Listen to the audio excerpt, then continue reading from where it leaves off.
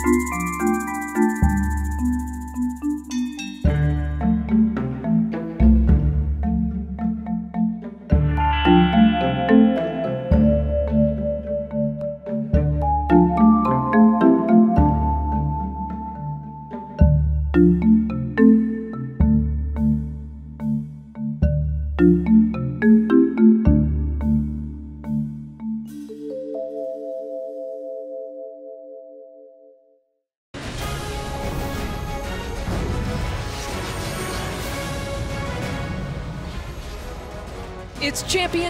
Championship time in Ann Arbor, Michigan. Our Big Ten title game of the Big Ten softball tournament has finally come, and it's the one versus the three seed, Minnesota and Ohio State, chasing the title. This is how we got here. 12 teams have now been whittled down to two. Minnesota going for back-to-back -back Big Ten titles, and Ohio State looking for its second tournament title since 2007. A recap of the semis. It was the long ball that was working for Minnesota. Sydney Dwyer with a couple of solo shots, and then the grand slam by Kendyl Lindaman was also the difference, but the walk-off from Dwyer in the seventh pushed Minnesota to the championship game. And then in the semis between Ohio State and the Cinderella team, Michigan State. A couple of two-run homers. Lily Piper got the first in the first, and then Emily Clark with the big back, the two-run homer in the sixth. Then Ohio State ekes out a 4 to 3 win in the semis. So that's where we stand with the NFCA Executive Director Carol Bruggeman. I'm Lisa Bynes, and now I mentioned that Minnesota is going for back-to-back -back Big Ten tournament titles. So how much does that affect the Gophers when they've been here and done that? Well, certainly they have that championship experience to rely on and that feeling of winning. But last year they didn't win the regular season, they did win the tournament. This year, they won both. All right, so let's turn it over to our public address announcer, Zach Marente, with the starting lineups.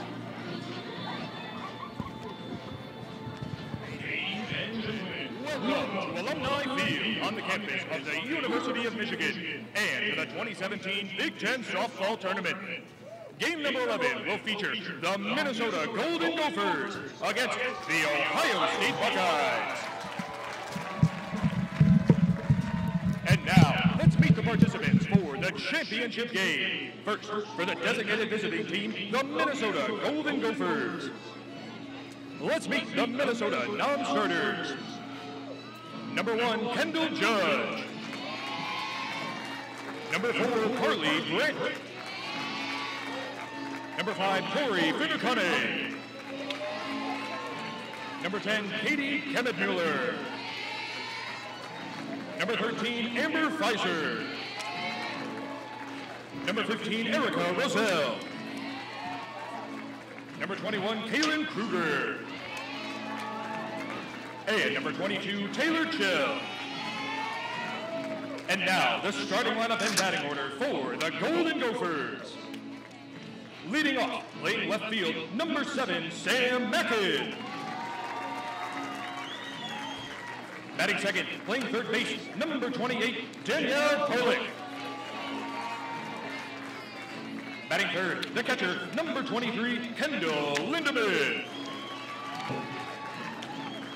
Batting fourth, playing right field, number 20, Maddie Houlihan. Batting fifth, playing second base, number three, McKenna Partain. Batting sixth, playing first base, number 32, Sydney Dwyer. Batting seventh, the pitcher, number 17, Sara Groenewegen. Batting eighth, playing center field, number two, Danny Wagner. Batting ninth, playing shortstop, number 16, Ellie Arneson. The designated player is number 33, Ellie Coburn. The starting pitcher for Minnesota is number 17, Sara Groenewegen. The Minnesota coaching staff includes Associate Head Coach Jessica Merchant and Head Coach Jessica Allister.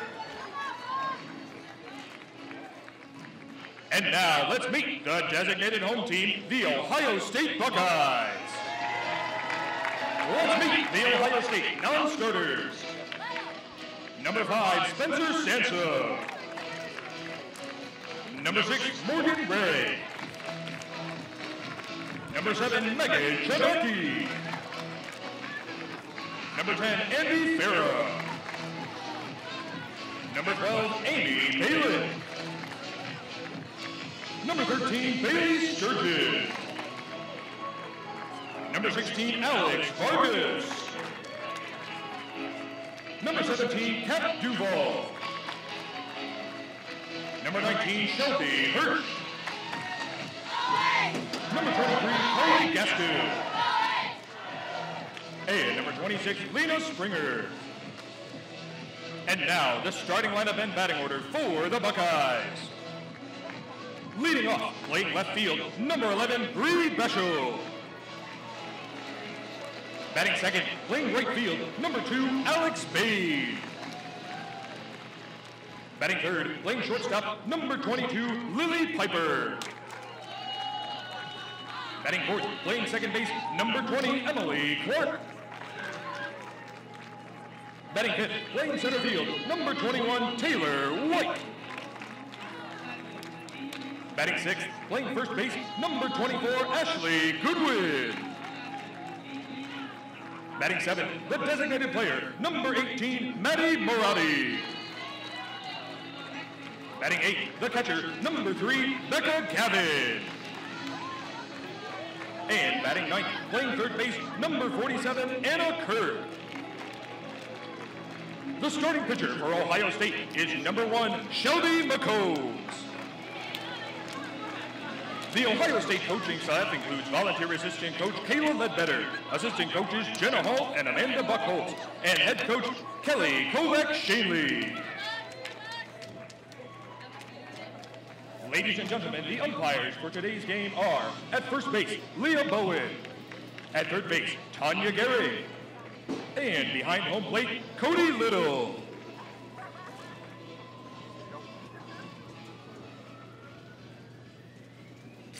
Ladies and gentlemen, at this time, we ask that you please rise to honor America and those who protect our freedom at home and abroad with the playing of our national anthem.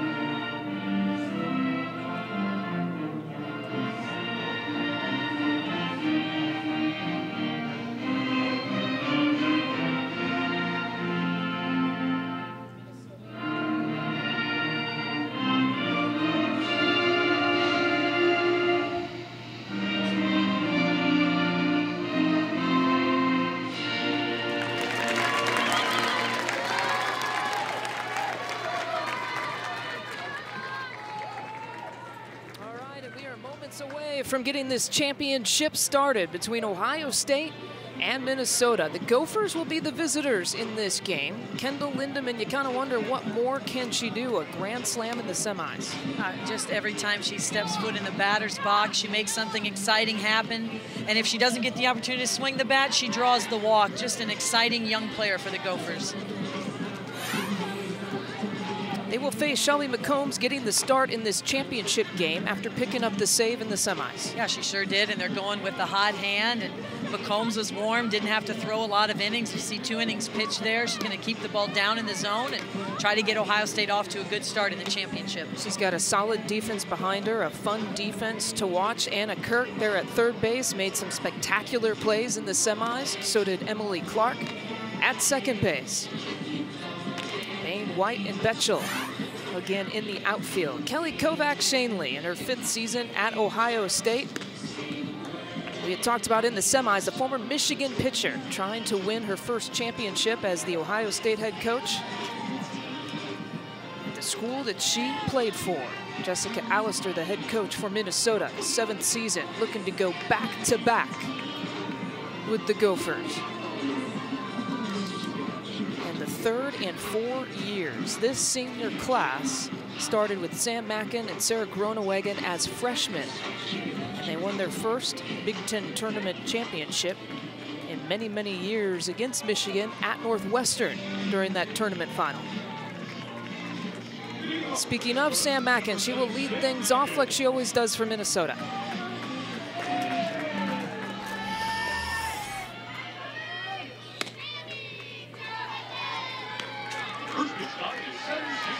First pitch is a ball. We mentioned this program at Minnesota. Now the expectation is winning, winning big, and winning championships. Here they are in position to add another Big Ten championship to their regular season.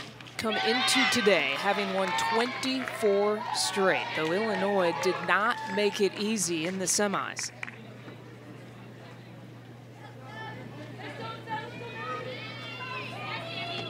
You know, and you don't win 53 games on the season by things always going your way.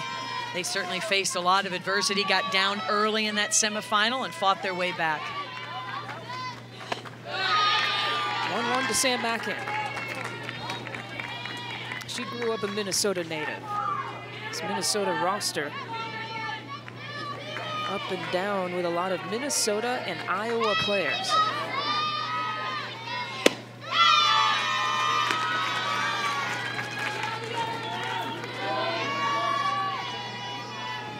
She had the walk-off RBI in that game against Michigan in 2014 first Big Ten tournament championship in 15 years. High hopper to Piper for the first out.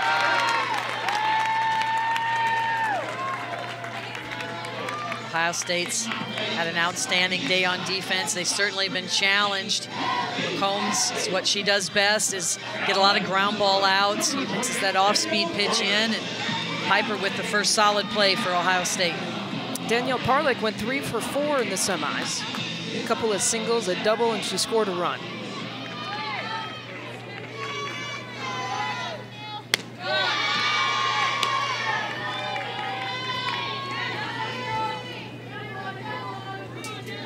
Parlick actually batting the best for Minnesota in the Big Ten tournament, batting 714.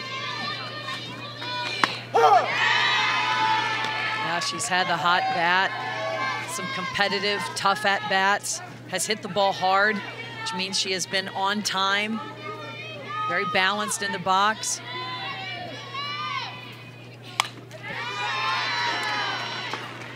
And that's what she can do. She can certainly hit the ball deep.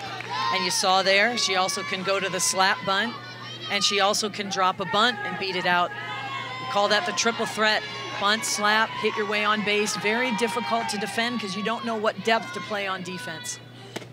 She's got 73 hits on the year, but she strikes out. Just the sixth strikeout for Danielle Parlick on the year. Good sign for McCombs, who's really working the ball down in the zone, throwing the ball hard, mixing in her change of speeds. As you mentioned, finished the first game and took off right here where she left off in the second game. Kendyl Lindaman, the number three hitter.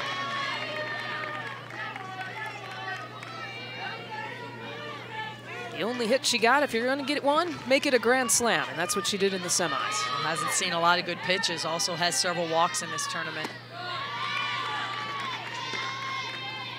And when she hit the grand slam, you know why teams are pitching around her. Everyone knows what she can do, such a strong, solid hitter.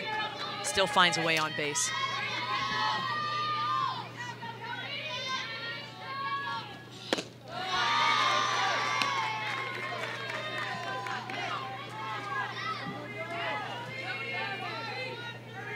Slugging percentage of 941.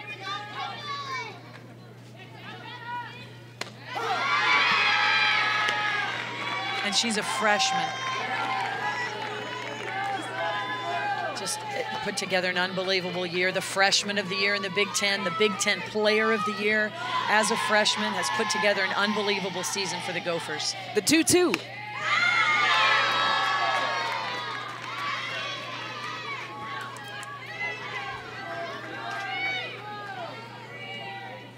know, tough to pitch to Lindaman. You want to hit the corners. You don't want to put it over the plate. Also don't want to walk her and put a base runner on. She'll foul one off. Combs isn't shying away from her. Kendyl Lindaman, you might want to think twice to pitch to her. You have to if the bases are loaded, and she'll do that. One of six home runs that we've actually seen on this Saturday.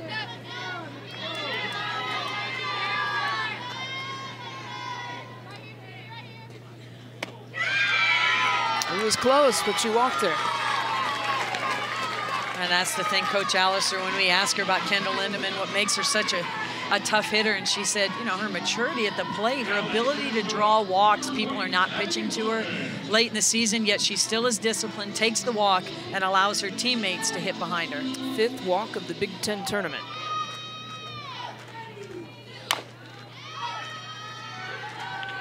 In steps Maddie Houlihan, the number four hitter.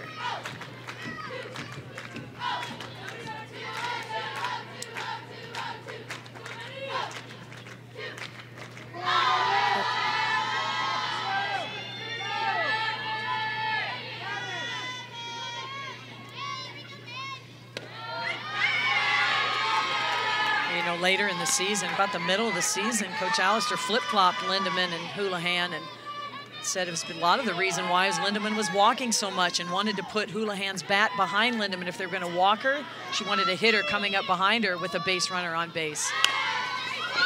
Or a bunter. Houlihan can't beat out the throw.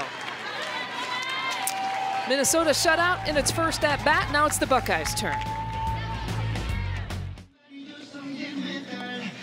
Our final game in Ann Arbor, Michigan. To the bottom of the first, Carol Bruggeman, Lisa Byington with you. We started with 12 teams. We're now down to two. The one seed versus the three seed. A single elimination format. In Minnesota going for back-to-back -back titles in Ohio State. Trying to win its second Big Ten tournament title and first since 2007 nice crowd on attendance after the number two seeded Michigan Wolverines upsetted yesterday. Minnesota came to the plate in the top half. It's Ohio State's turn. Lily Piper had a two-run homer in the semis against Michigan State. She had quite a day against Michigan State, as you can see there, and she's really had quite a season. My unofficial vote for the runner-up for Big Ten Player of the Year. Kendyl Lindaman, of course, in Minnesota earning that, but has hit the Big Ten by storm this season. And we see the start here with Sara Groenewegen in two Big Ten tournament appearances. No hits in nine innings pitched. Of course, she almost had the perfect game in her debut in the quarterfinals against Northwestern. In this game, it's Bree Betchel leading things off. It's Betchel and Anna Kirk who switch in the one and nine spot.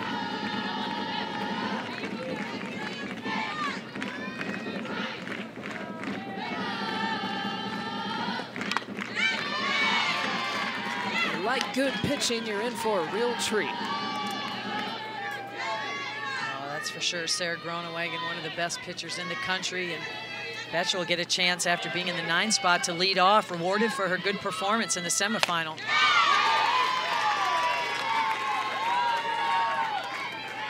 Every opponent taking on Sara Groenewegen, take notes. What is the key to hitting against Sara Groenewegen? Well, I think every team in the country has been trying to figure that out. You know she's throwing stri strikes, get a lot of swings in. That's what gets another swing in you know, some people might say she throws so many off-speed pitches, you can sit something fast and only swing at something fast and sit something slow. Only hit something slow. But that only gives yourself, now you cut your strike, strike opportunities and swing opportunities in half against a very efficient pitcher. The one-two to Betchel goes fishing. Lindaman makes it official. One batter, one strikeout. And she can do it in a variety of ways. You know, she can throw the ball through all four parts of the zone. And most importantly, can throw the off-speed pitch. And you'll ask any great pitcher out there, they throw a lot of strikes, but they get a lot of swings and misses at non-strikes. And you can see Sara Groenewegen with the strikeout on a ball in the dirt. These two teams haven't met each other in the regular season. So for these Ohio State batters like Alex Bain, this is their first time this year facing Sara Groenewegen. Very difficult. Even though you've studied film and you know what's coming, it's a lot different when you're in that batter's box. Bain connects. Lost her footing. Making the grab is Sam Mackin. She tripped, she stumbled, and she still squeezed it home and she's got a big smile on her face. How about that athleticism by Sam Mackin?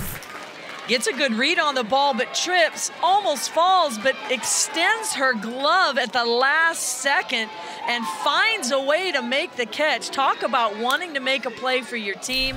In this sport, it doesn't have to be pretty, Lisa. You just have to find a way to make the play. Looks like a catch in the scorebook. Our BTN standout presented by Auto Owners Insurance. Now two outs in this inning.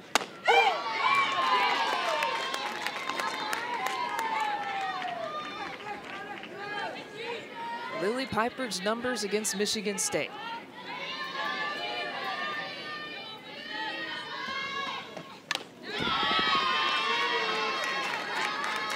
That's one thing about Sara Groenewegen. Everybody knows about her off-speed pitch. You can throw it on any count. It's very effective. But when she throws her curveball screwball combination working in and out, the ball has a little bit of upspin on it as well, just a natural upspin. So you see a lot of foul balls, a lot of swings and misses, a lot of fly balls. Ground ball to Parley. And the side is retired in order. Sara Groenewegen with one strikeout fans wearing all kinds of different Big Ten colors, taking in the championship game.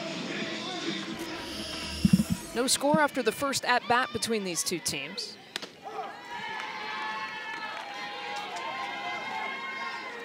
This is McKenna Partain. She's the other freshman.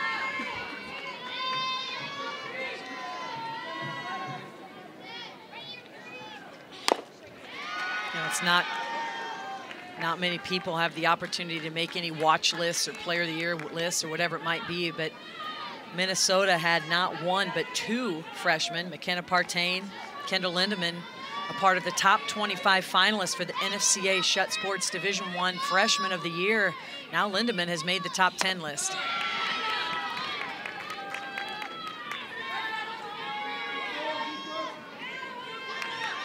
They are first and going into the semifinal game, third in terms of batting average. Now they're first and fourth on this team.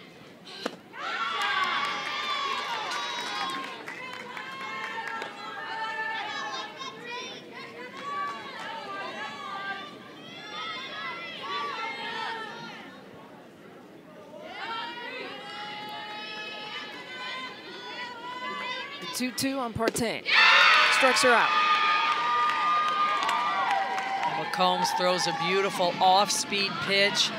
Gets Partain swinging way out in front of the ball.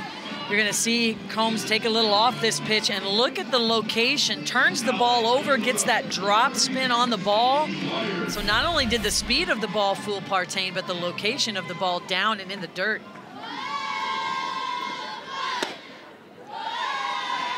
Sydney Dwyer, the semifinal hero, is at the plate. Two home runs in the semis against Illinois.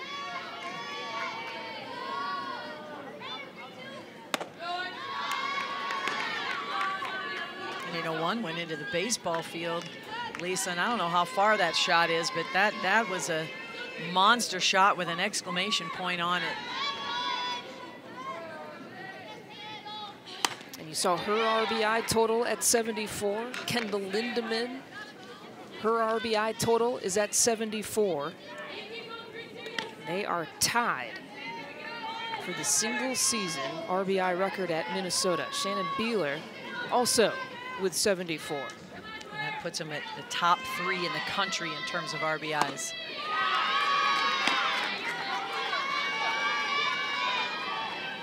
That's what's made Minnesota such a tough team this year. They're so balanced know, a, a, good defensive team, not an outstanding one, but outstanding in the circle and hitting. Ground ball through the 5-6 hole.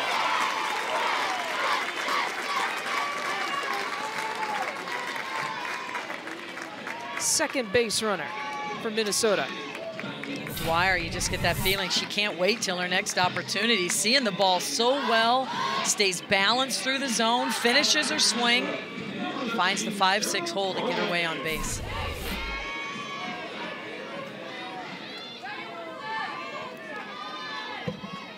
Here's the pitcher, Sara Groenewegen.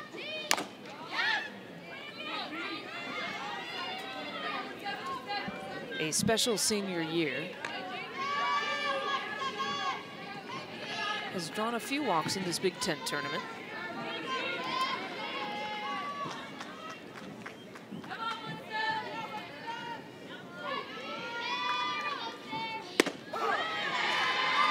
Minnesota won the outright regular season title. Sara Groenewegen was one of the first to say the championship was not won by us, but all the players that created a championship culture, especially in the last five years under Jessica Allister. You know, and every time, everything you read about Sara Groenewegen, every time we've had the opportunity to visit with her, she is just such a team player, one of the most humble players you'll ever meet. Coach Allister loves her work ethic, her leadership, has all those intangibles. Ground ball to Anna Kirk. Looking to turn two, Emily Clark. And the throw is not in time. I'm not sure why Ashley Goodwin came off the bag there. Not sure if she lost track of the outs, but they got a good opportunity to turn two. But Clark went to turn it. Goodwin was already off the bag at first base. You can see here the ball gets hit hard, goes right to Kirk turns and throws it to Clark, who throws the good one, but she's already come off the bag. She would have stayed on the bag and had a stretch, they would have had an opportunity for two.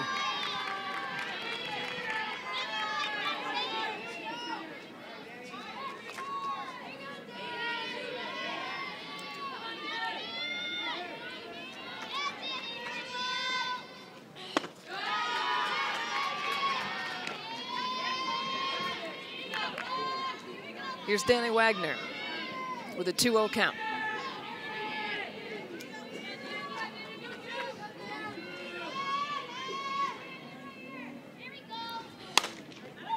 Well, so far, McCombs has been able to work her ball down in the zone, work her off-speed pitches. Even the one base hit she's given up was a ground ball. It was just right in the 5-6 hole. So, so far she's been able to keep the ball down, prevent the extra base hits, work her off speed in. She's pitched a nice game so far. We're not through the lineup yet with Minnesota, but she's kept them at bay. Have you found out when she started wearing the glasses? You were talking to her family. I was talking to her mom and dad. Happen to know their family very well, and said she just had an issue with her uh, with her contacts. Has some sort of reaction right now to her contacts. Didn't know why. She's been wearing them a long time, but she's worn the glasses the majority of the season.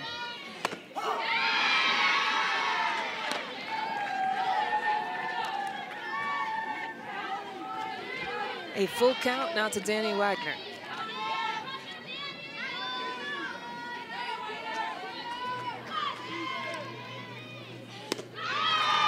And a walk. Second of the game for McCombs.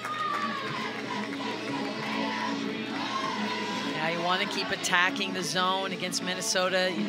They hit one through nine in the lineup, as we've mentioned earlier in their semifinal game. There's no relief. So if you give them an extra base, it gives them another opportunity for an RBI. As a team coming into this game, they're batting 351. Almost 390 RBIs.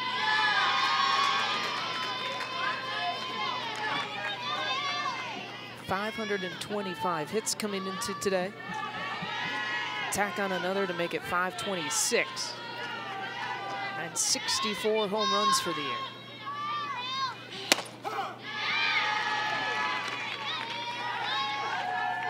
Yeah, they've been able to put up a lot of numbers on that board, not only the hits department, runs, RBIs, home runs. They're just getting it done on offense. That's a big reason why they're 53 wins on the season.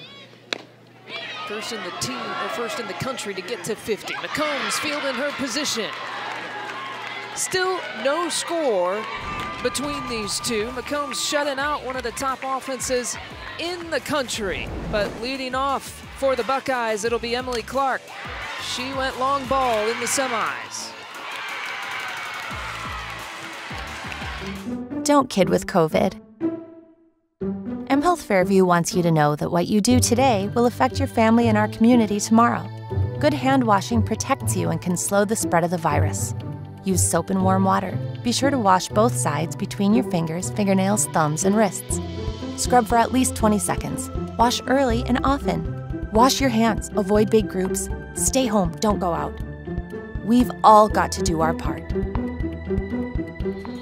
From the diamond to the field, everywhere else in between, we keep you up to date on everything going on around the Big Ten. This week in the Big Ten, Sunday at 10.30 Eastern on BTN. The regular season has flown by. This Big Ten tournament has flown by. Selection Sunday coming up.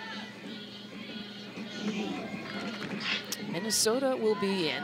Question is, will Ohio State? And how many Big Ten teams could get in? Got Minnesota, Michigan for sure. I believe Illinois for sure at a 27 RPI. Ohio State, 35 RPI. They can. Clark seeing it well. Sam Mackin seeing it better. She's doing gymnastics in left field tonight.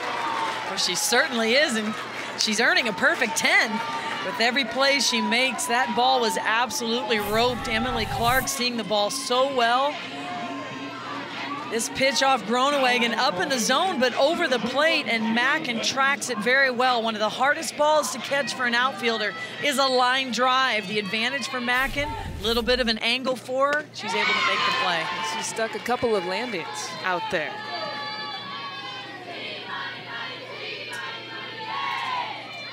Taylor White at the plate, 0 for 3 in the semis.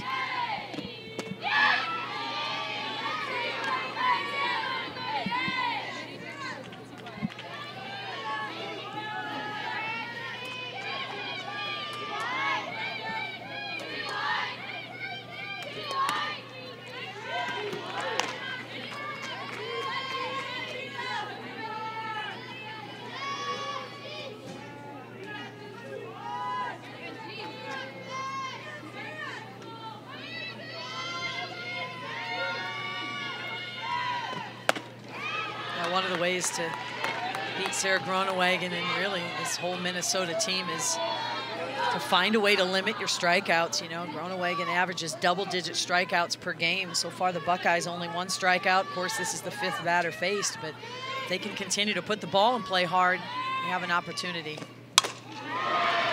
White gets a hold of it. A couple of fly ball outs in this inning we have seen some fantastic defense here throughout the tournament. Well, we certainly have. We see Mana Morano from Michigan. How about the play of the pitchers with Wonderly, the flip? Lots of action, double plays, smart defense, thinking ahead. Ruby Rivera with the athletic play. Danny Wagner lays out. Emily Clark. And the final out, Sam Mackin.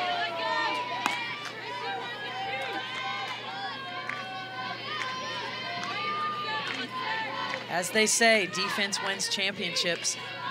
You've seen a lot of it.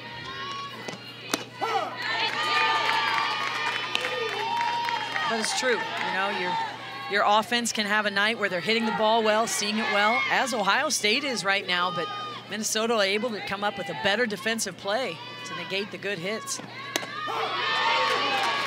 Strike call on Ashley Goodwin. Sara Groenewegen in her career has not faced Ohio State.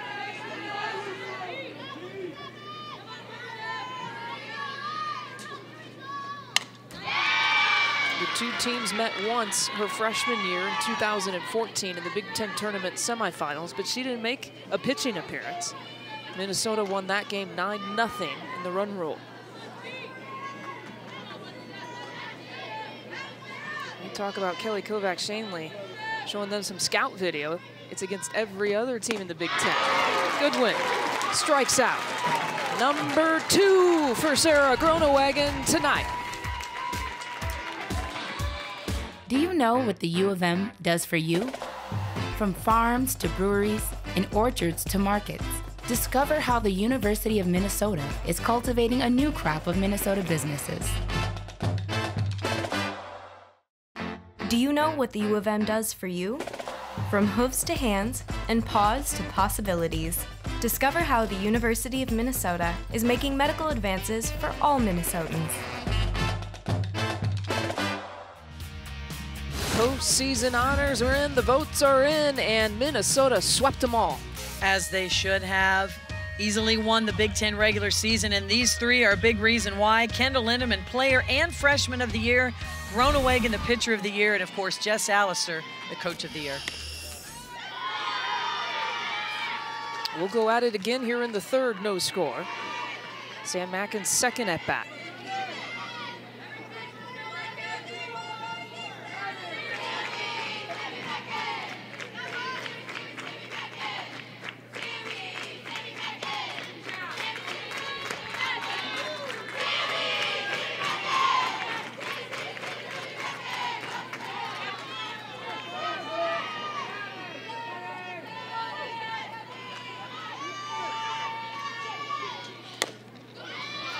Talked about this offense, how good it is, already setting records for walks this year, on pace to break a team batting average.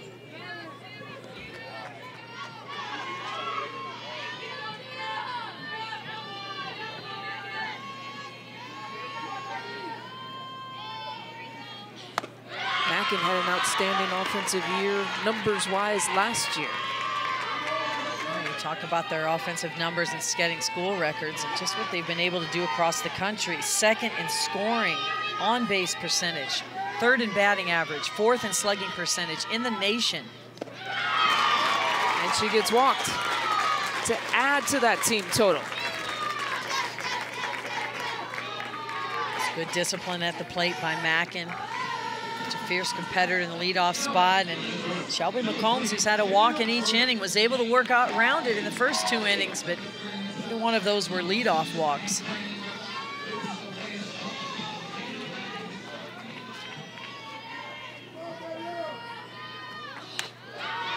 You know, Minnesota, not a team that steals a lot of bases. Well, they only have 41 on the season. When you think about all the base runners they've had, that's a pretty low number. But Becca Gavin behind the plate. And her ability to throw out base runners has been very helpful to Ohio State all season. Mackin is a perfect four for four if she wants to take a try. Jessica Allister have always told us it's very situational, not always needed. Especially with the offense she has this year and their ability to drive in runs, hit the ball hard.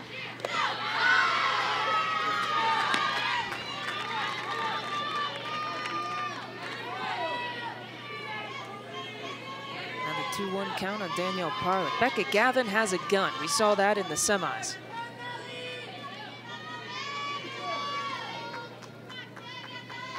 You take a couple steps off of second base, and she could throw you out. Oh, there's no question. You, know, you got a catcher like that who likes to throw base runners on. They, they hope the runner takes off, you know. They, they want to give it a try. See, we got a timeout now. Quite a few balls being thrown by Shelby McCombs. We didn't see that a lot in the first two innings. She did have a walk in each inning, but was able to throw a lot of strikes and create a lot of outs. So going out to talk to her pitcher, as you know, she earned the save in the semifinal. Got the start here in the final, so she's thrown a few innings, and her coach is going out talking to her about how they want to work this situation. Again, we're in the top of the third, and Minnesota, though the better seed, they're the visitors in this championship game. Ohio State, Kelly Kovach Schoenly, the home team. Minnesota had been the home team twice in this Big Ten tournament, so they're the visitors here in the title game.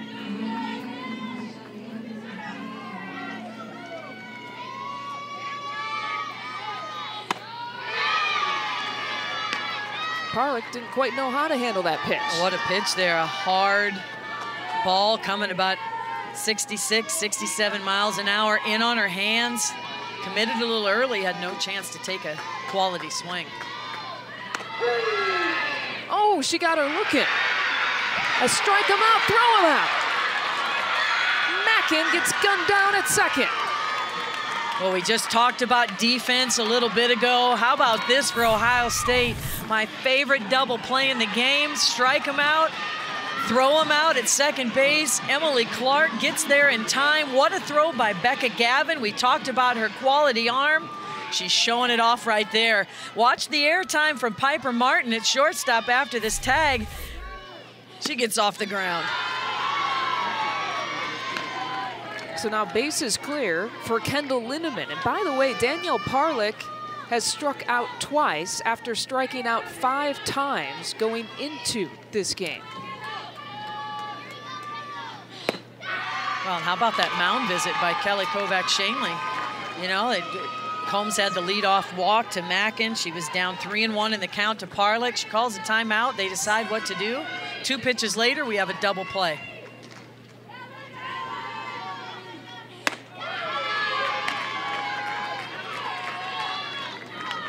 And most importantly, there's no one on base for Kendyl Lindaman. Kendyl Lindaman comes up. Have the opportunity now to pitch to her a little bit more, although it looks like Ohio State is working around her a little bit. 3 0 count. But you do not want to pitch to Kendyl Lindaman, runners on base. Walked in her first time up.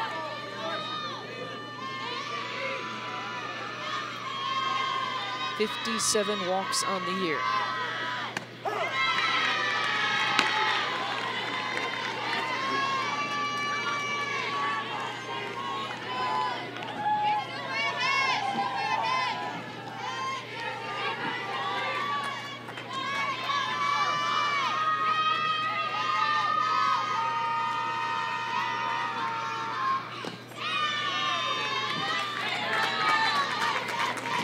Fifty-eight walks on the year. She can get to 60 here tonight. Such good discipline at the plate, such maturity. And once again, McCombs, you know, that could have been an unintentional, intentional walk. I want to mess with Kendyl Lindaman with her power, especially her home run power, sitting at 20 home runs. Maddie Houlihan behind her. The importance of the two and four hitters who sandwich Ken Kendyl Zin Lindaman, 9 of 18, 500 hitting in the Big Ten tournament combined between the two hitters.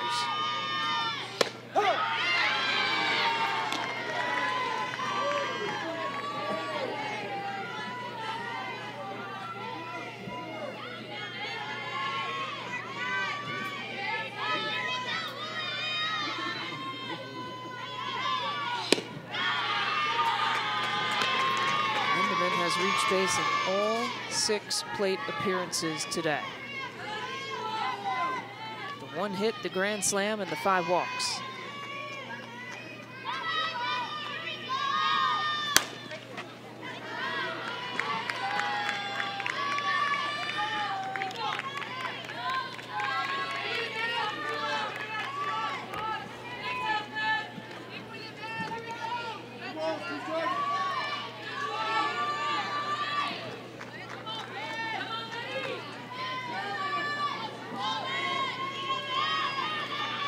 Two-two to Houlihan. Pegged her right in the back of the leg.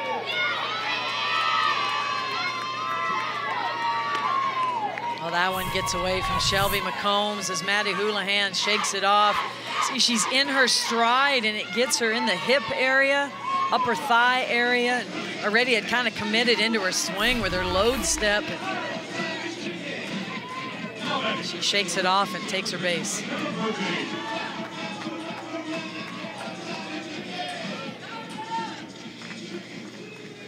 So two on with two out. Partain at the plate.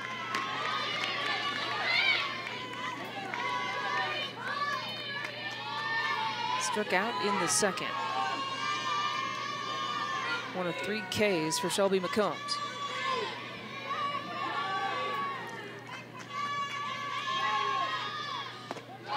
How big is that double play right now for Shelby McCombs and the Ohio State Buckeyes. McCombs really laboring through this inning.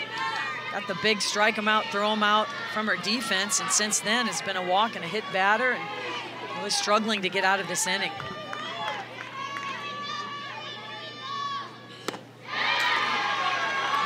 Blew it past her. Yeah, at the same time, Minnesota having a hard time squaring the ball up. All the base runners have been via McCombs, not necessarily what Minnesota's done with their bat. So Combs still throwing the ball hard.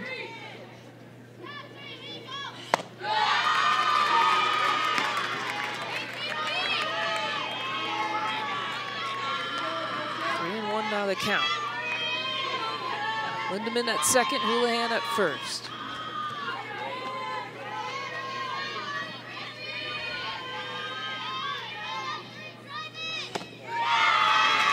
Loading the bases with two outs.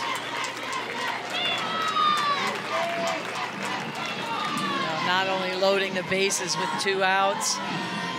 see McCombs wiping the sweat off her face, just trying to reach back and find that extra something to get her out of this inning. But not only do you walk the bases, but you have to pitch to one of the best RBI hitters in the nation.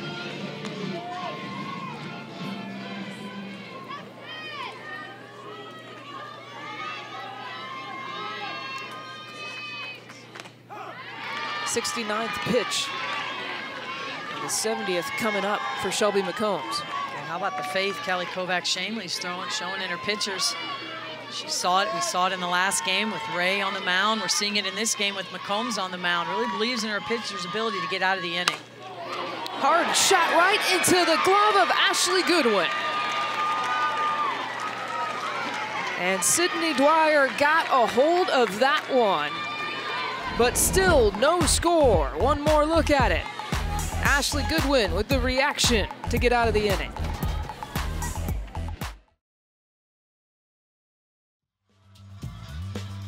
These teams have already clinched an NCAA tournament bid, and Ohio State trying to keep an eye on some of the upsets going on across the country. Well, they certainly are. We have four more to add to that list with Kent State, Montana, DePaul, and North Dakota State.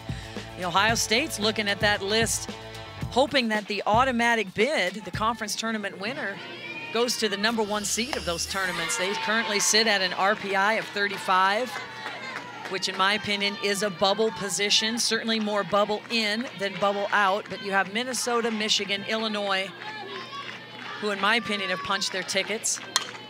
Minnesota with a 12 RPI, Illinois with a 27 RPI, Michigan sitting with a 21.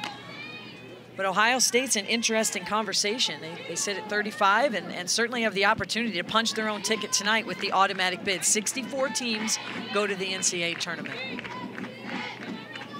Winner of this game, of course, gets the automatic bid. Maddie Marotti at the plate for Ohio State. Buck Buckeyes made sure that they played a tough preseason schedule Marotti strikes out for the first out. The top 12 of the RPI, Minnesota in a good position in tonight's game to host a regional. The question is, can they be good enough to host a super regional if they get that far? And I think that's a stretch for Minnesota. You certainly will be hosting a regional next weekend in Minneapolis, but you got to be in the top eight seeds to be able to qualify to, uh, to host a super regional. That is if all the teams advance. Slow blooper to second base. Becca Gavin tried to stride it out, but Partain was there.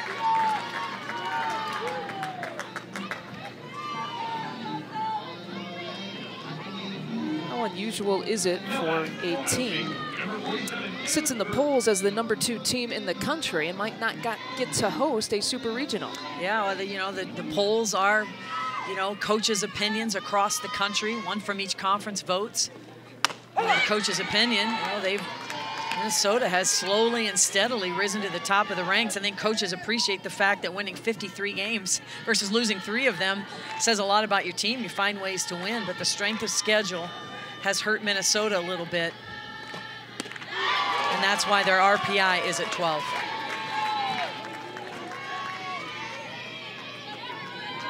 Here's Anna Kirk, now batting in the ninth spot instead of the leadoff spot.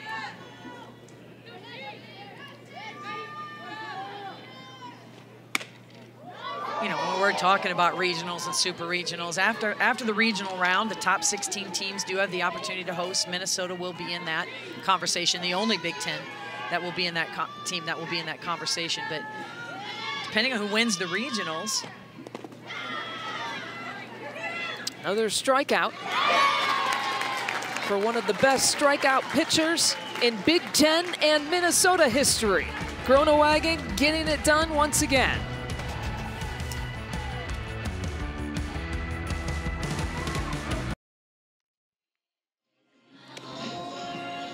No score in our Big Ten championship game between Minnesota and Ohio State. We're now in the fourth inning, and we bring in Ohio State's head coach Kelly Kovach Schoenly. Coach, your team has not faced Sara Groenewegen. How did you try to get them ready for tonight? We just played a really competitive preseason schedule. And we saw a lot of great pitchers along the way and in the conference. And, you know, she's a great pitcher, but we've faced a lot of great pitchers, and we'll get to her. Hey, Kelly, just so impressed with your ability to know when to take your pitching staff out, when to leave them in. We saw it in the semifinal, a lot of faith in Ray. We're seeing it again here in McCombs. Just talk about that a little bit.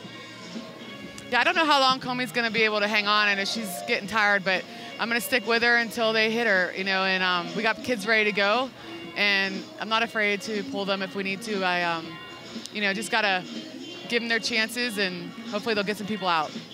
All right, thank you. Thank you. You have to pull out all the stops, but she's right. Minnesota only one hit so far tonight. Yeah, we've seen so much action in this game and certainly have had a lot of base runners, seen some great defensive plays as well, but both pitchers have been able to cut down these high-powered offense, both teams known for their offense. In steps Sara Groenewegen.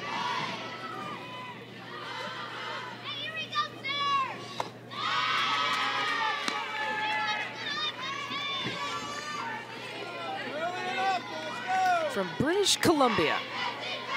Most likely would play in the Olympic team in 2020. Set up nicely for that. Softball back as a sport.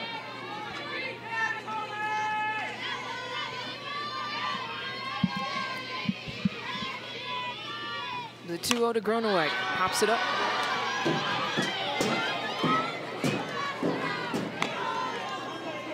And that foul ball, see, that's some good camera work there by our camera crew. But, you know, from many years of out recruiting, it's not about the first bounce, it's about the second bounce on a foul ball. And that ball landed closer to home plate and ended up in right field.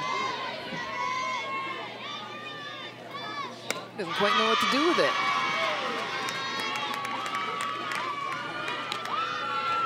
He's like, anybody want a softball? I'm not really sure where to go with it, but I know I'm probably not supposed to keep it, but I'd like to.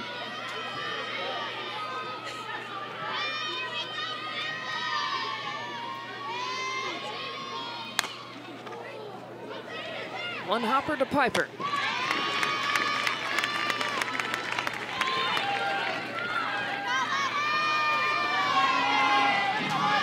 And around the corner, young man, you get your prize. An interview with Carol Hutchins. Oh, he does get a prize. All that hard work paid off. Good work, young man. Look how patient he is.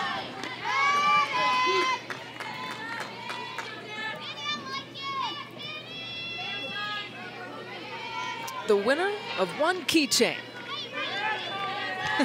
and a He's going to have to wait about 14 or 15 years maybe, though, to get his license. Hard driven ball to center, off the wall. Danny Wagner looking for two, the head first slide, and she's in safe.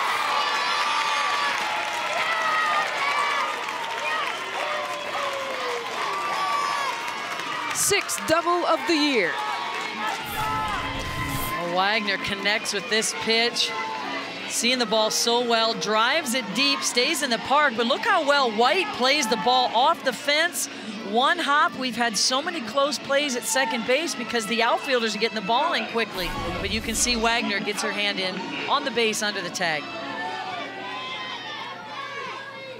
And with one out, brings up Allie Arneson.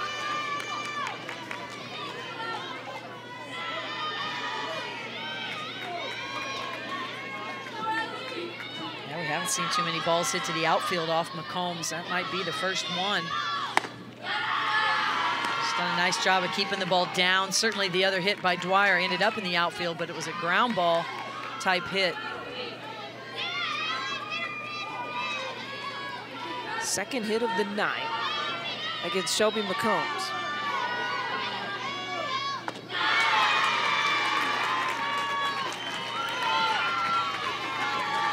Shelby Hirsch getting work in in the bullpen.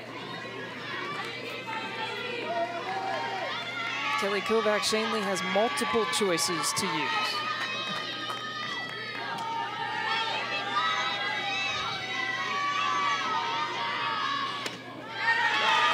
Arneson is walked.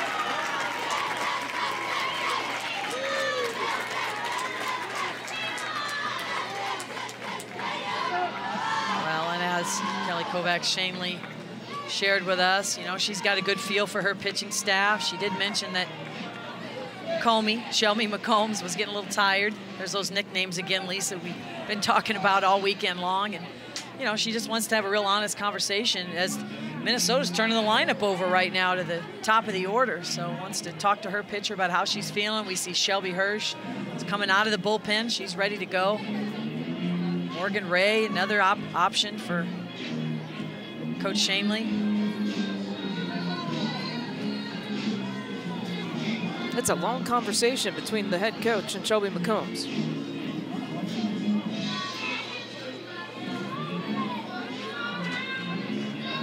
That means it's dancing time.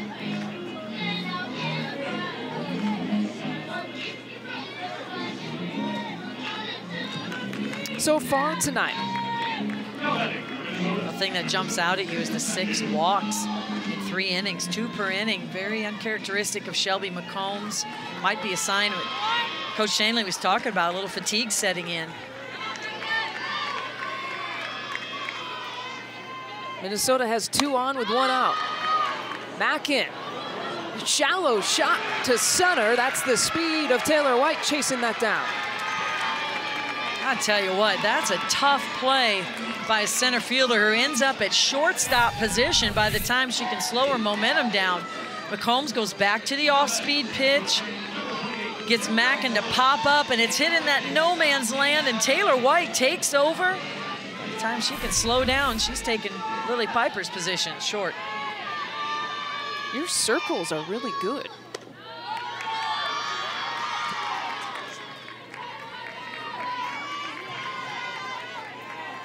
Couple of strikeouts for Danielle Parlick. You don't see that line for Danielle Parlick very often.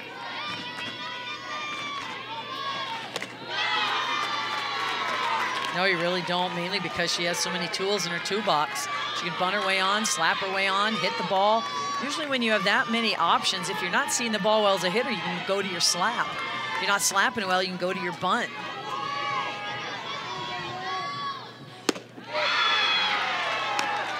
Huge swing. Yeah, big reason why Parlick's struggling right now. You, you got to see the ball to hit the ball. You hear it all the time. Watch her head on this swing. Spins around on a swivel.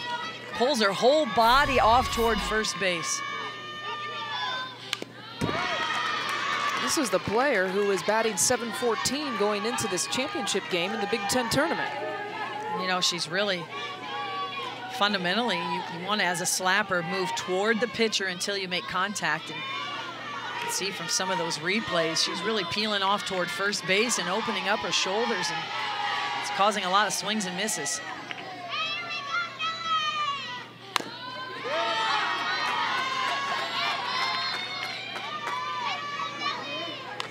Well, a competitive game, the way the championship should be played. One more look. Still taking an aggressive swing with two strikes. That one goes right off the toe Parlick.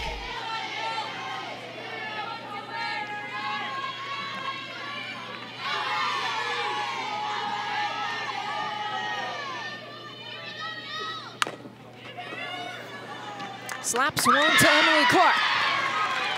With the fist pump, and Ohio State again getting out of trouble. 0-0 the score.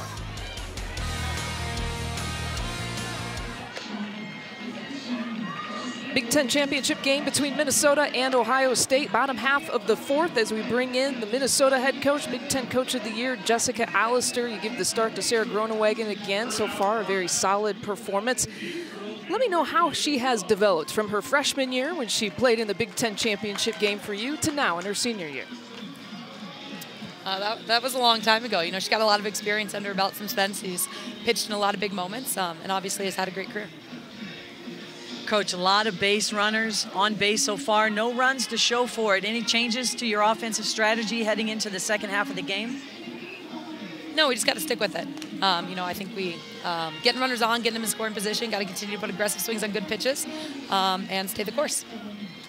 All right, thank you, Coach Allister. Thank you.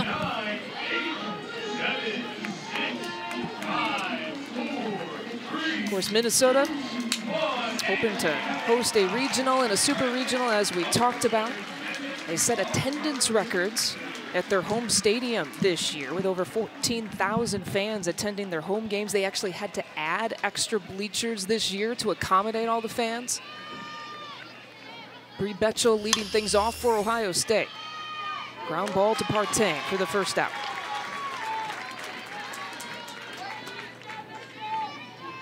Yeah, everybody loves a winner, right? You talked about the fans packing the house at Minnesota. What a what an exciting time for them winning the Big Ten regular season championship.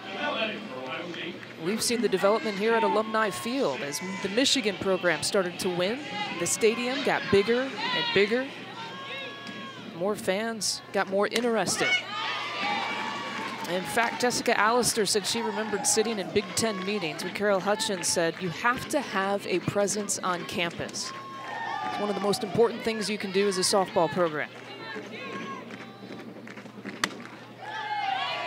Part of the way to build that presence on campus, especially in in a climate like Minnesota, Michigan, is to hold postseason play tournaments, regionals, super regionals. That's something Michigan has been able to do here at Alumni Field, and it's built their fan base.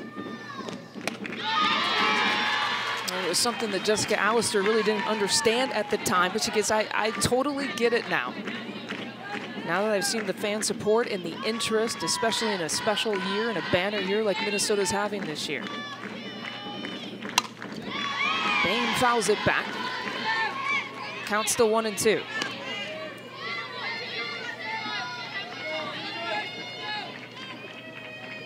Fifty-three wins, first in the country to 50. Fewest win or fewest losses in program history for a season was 11. They're at three this year.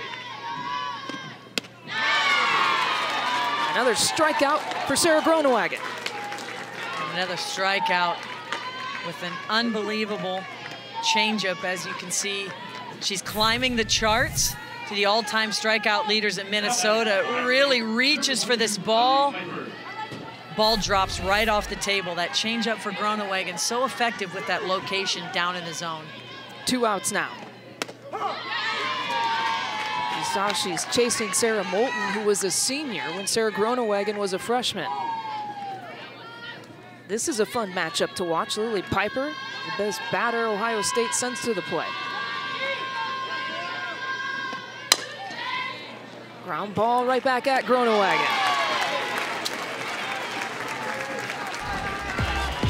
Twelve straight outs for Sara Groenewegen tonight. Don't kid with COVID. M Health Fairview wants you to know that what you do today will affect your family and our community tomorrow. Social distancing helps you avoid contact with those who may be infected with the virus. What can you do? Steer clear of crowds of 10 or more people. Keep a distance of 6 feet between you and others in public spaces. And if possible, work from home. Wash your hands, avoid big groups. Stay home, don't go out. We've all got to do our part. tomorrow, a baseball doubleheader on BTN. First, Indiana hosts Penn State, followed by Michigan, ranked 17th in the country, taking on Purdue. Coverage begins at noon Eastern live on BTN and streaming live on BTN to go. Their conference tournament taking place in Bloomington Memorial Day week and weekend. Plenty of good baseball here still to come.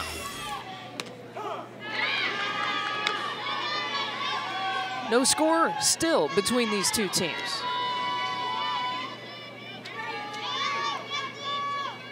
Two hits total in this game. Heart of the order up, three, four, and five.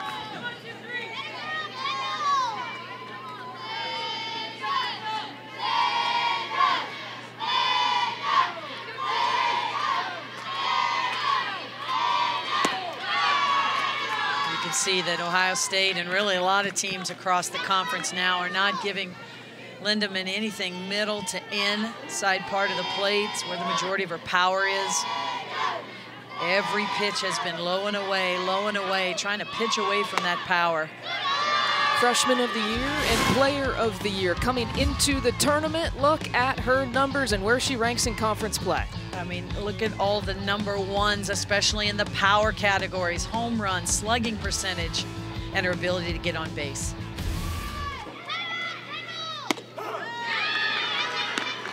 All you need to know about Kendyl Lindaman is that Jessica Allister, as we have told the story, when she hits, it sounds different. Just close your eyes and pay attention. The full count.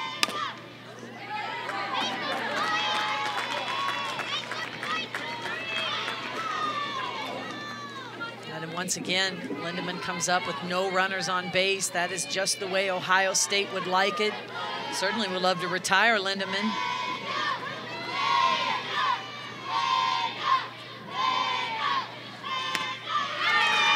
And another walk. Lindaman has gotten that trot to first base down. Just so disciplined. That's why you see such the high on base percentage. And Kelly Kovach will take a walk to Lindaman versus a ball over the fence, especially 0-0 game here. Champ Big Ten championship on the line. We're in the second half of the game. Three walks in this game, six total for the tournament.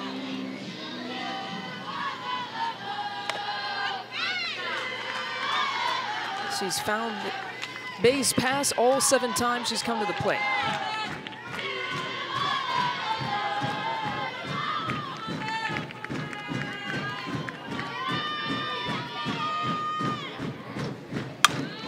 Maddie Houlihan as Clark looks to turn. And Ohio State is always looking for two. Well, they absolutely are, and that's again why you see the wise decision by Ohio State to pitch very smartly to that young lady, Kendyl Lindaman, Big Ten freshman and player of the year. Then they're able to develop a ground ball out here to Houlihan. Piper stays down on it very well. That ball had a lot of pace on it, few hops along the way. Those are the toughest balls to field if you're an infielder, is a ball right at you. It's got a few hops in it.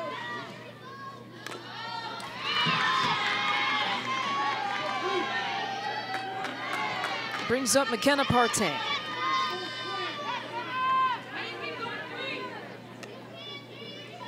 Know, and we talked about it earlier, Minnesota does not steal a lot of bases, but after watching Becca Gavin with the old strike them out, throw them out, it's going to deter them from stealing even more.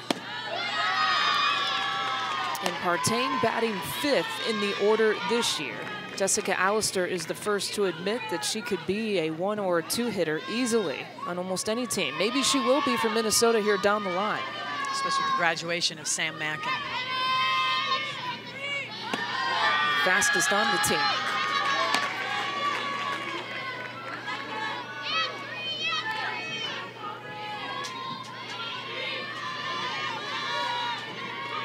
Playing in her first postseason of her career.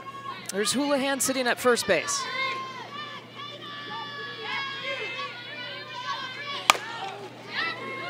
Another ball to Clark, and another opportunity to try to turn two.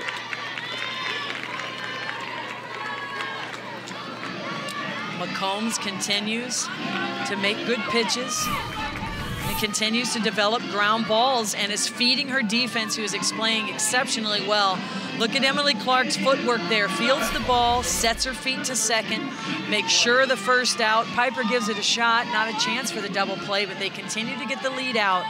And that young lady, Shelby McCombs, has pitched her way out of a lot of jams. Oh, letting it fly. Sydney Dwyer does it again. The two-run home run and her third of the tournament gives Minnesota the lead.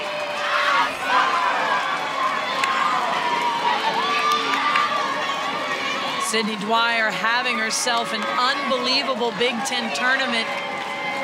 Yeah, the long ball and their monster shots. Here gets a pitch. McCombs leaves a pitch up in the zone, something she has not done today, and Dwyer makes her pay into the tops of the trees.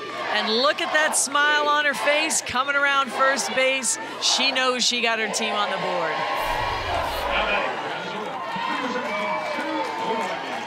That's a championship swing and smile. Two solo shots in the semis. And the two-run homer, so far the difference maker in the championship game.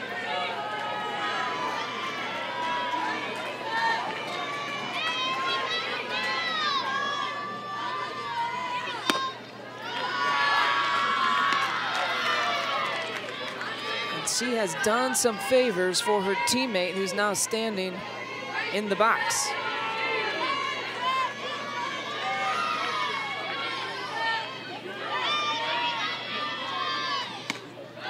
Time Sara Groenewegen steps into the circle, she will have at least a two-run lead now.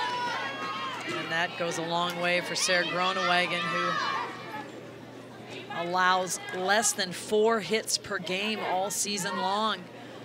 So this deficit, even though it's 2-0, when Sara Groenewegen on the mound, it can feel like 5-0 just because it's tough to string hits against her. But Minnesota looking to build on this lead, and Sara Groenewegen looking to do so with her bat.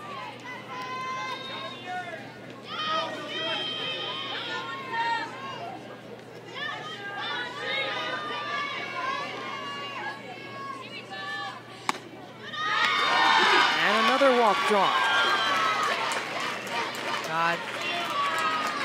Shelby McCombs has certainly given her all, was a little fatigued throughout the game. Looks like we have another conversation here from her pitching coach, gives her a high five and says, let's give the ball to your teammate.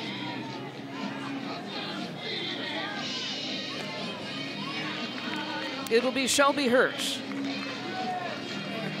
the starter in the semis, who now gets the ball from Shelby McCombs. Shelby McCombs doing a nice job. Really only two hard hit balls, but one went over the fence with Dwyer. And, you know, Ohio State does have a, a lot in their bullpen they can go to. Now they turn to Shelby Hirsch. She also throws the ball hard, as did McCombs.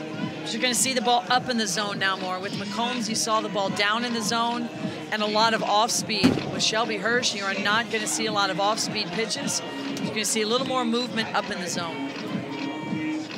Shelby Hirsch has been the hot pitcher for Ohio State. And you see McCombs' numbers, four and two thirds. Giving up the three hits, but the one biggie, the two-run homer. And as you mentioned, the eight walks are what stand out in that line. Oh, for sure. Just having a little hard, a little bit of a hard time with control. Worked her way out of several jams. Finally, Minnesota able to capitalize. A pitch by committee sort of philosophy for Ohio State. They primarily use forearms. Came into today a team ERA that was fairly low. Shelby Hirsch got the start against Michigan State in the semis. This was her line against the Spartans. Two innings pitched, but was very effective. Ohio State likes to pitch by committee. You know, they don't have a Sara Groenewegen, a strikeout pitcher that's dominant, so they're going to use the strengths of their entire bullpen.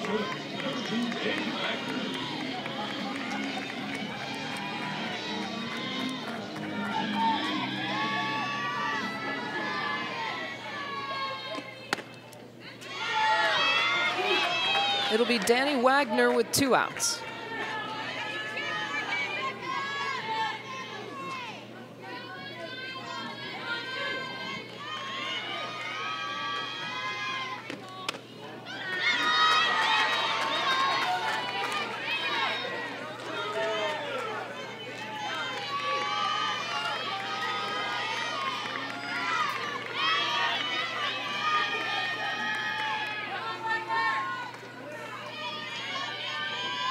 The 2 0. Hitter.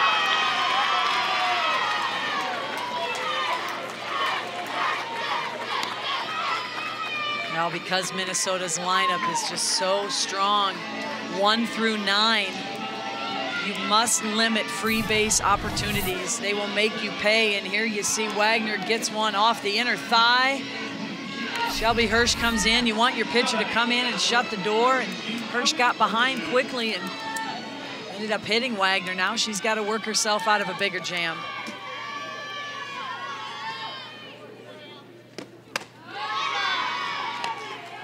Now it's Allie Arneson. Hirsch continues to work up in the zone. She likes to spin the rise ball, curve ball. Important for Arneson to look down in the zone.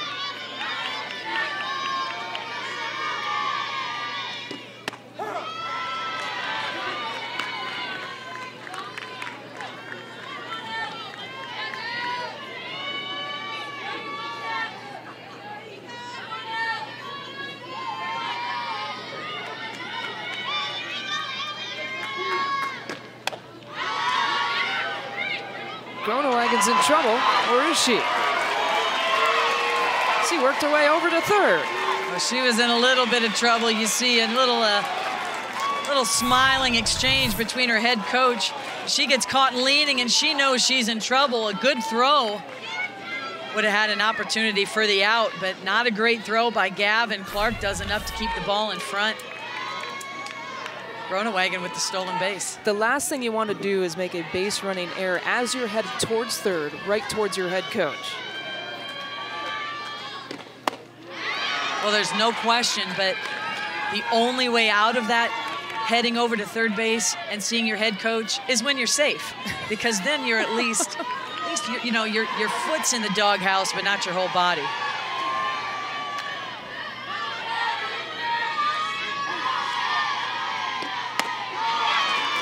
High to Arneson.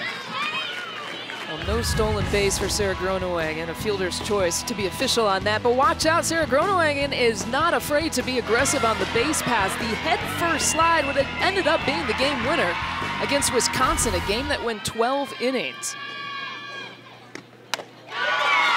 The walk to Arneson to load the bases. Sara Groenewegen thought she was going to get in trouble with that head first slide with her head coach. That didn't happen.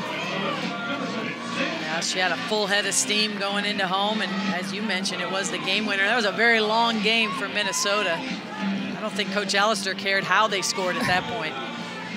we called that game. Minnesota had left a ton of runners on base, and now they've got three with the bases loaded and two outs. With the amount of free bases that Ohio State has given up in this game. It's hard to imagine looking up the scoreboard, only two runs, but only three hits for Minnesota. Nine walks will help that cause, and two hit batters as well.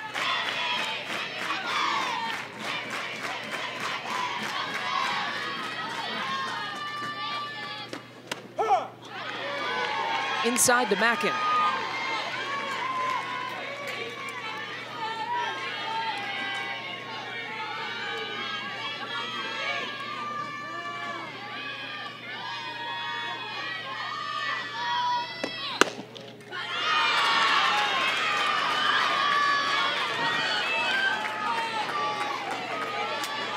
Danger zone here for Ohio State. You can see Emily Clark trying to cheer her pitcher on, just willing these pitchers to throw some strikes, let the defense help.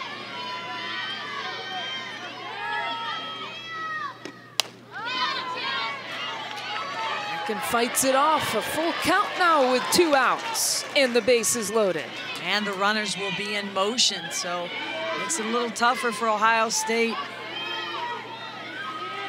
And for Shelby Hirsch. She's got to throw the ball across the plate or she'll walk in another run for Minnesota. Ball four. And the third run of the game.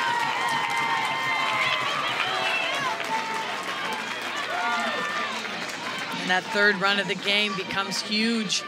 Again, when you think about who Minnesota has in the circle right now, and Sara Groenewegen does not give up a lot of hits, certainly does not give up a lot of runs. If Ohio State wants to give themselves an opportunity for a Big Ten championship, they need to get out of this inning very soon. The head coach is back on the field.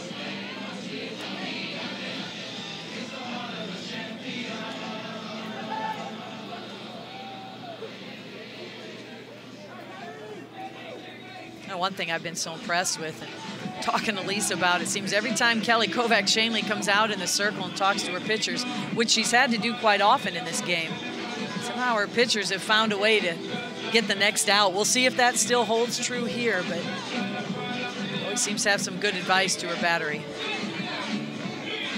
She's been known to have the magic words say the right things at the right time to her players. Well, she's been in that position before. It was a two-time NFCA All-American pitcher here in Michigan. So she's been in the circle. She's had an outstanding career and has had many experiences at Penn State, Miami of Ohio, and now at Ohio State.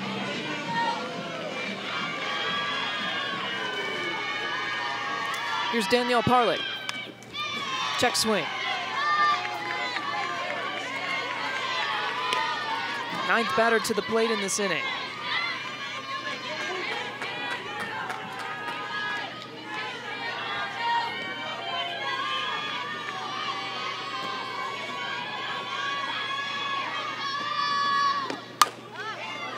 Parlick flies out.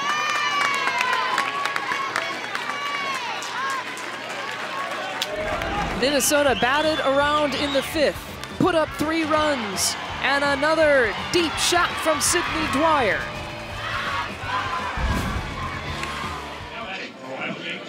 So far, it's another gem for Sara Groenewegen, and now she is pitching with a lead. Minnesota up 3-0, our State Farm State of Success in the Big Ten Tournament through three games. Look at that line.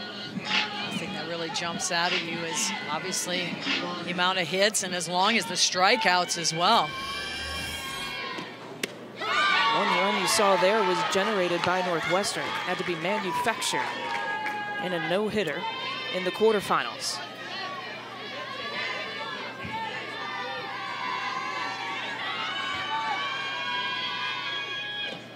Emily Clark is more than capable of getting a hit.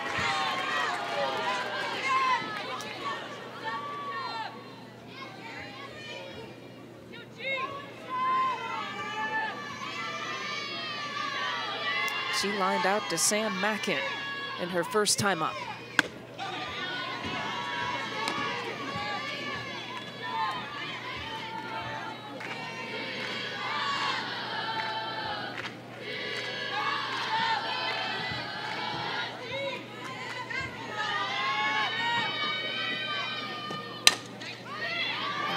Foul. We asked Jessica Allister, did she know if Sara Groenewegen would be a program player? You just never know when you're recruiting a high school kid what they're capable of doing. She said, we might have started to feel that way the summer of her senior year. She was good, and then she took really a step forward when that now Sara Groenewegen changeup that we all know started to develop during that time.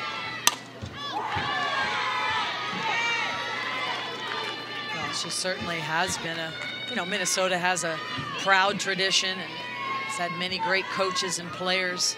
Certainly Sara Groenewegen has stepped up to that level and really made a difference the minute she put on a uniform for Minnesota and has, as Carol Hutchins said here in the booth with us earlier, gotten better every year. A shot to center, the first hit of the tournament and of the game against Sara Groenewegen. Emily Clark just having a day on both sides of the ball. Tough at bats. You know, maybe that'll open it up here for Ohio State. See, she gets a pitch on the outer part of the plate, curveball on the outside part of the plate, drives it right back up the middle. Well, we knew Clark was more than capable.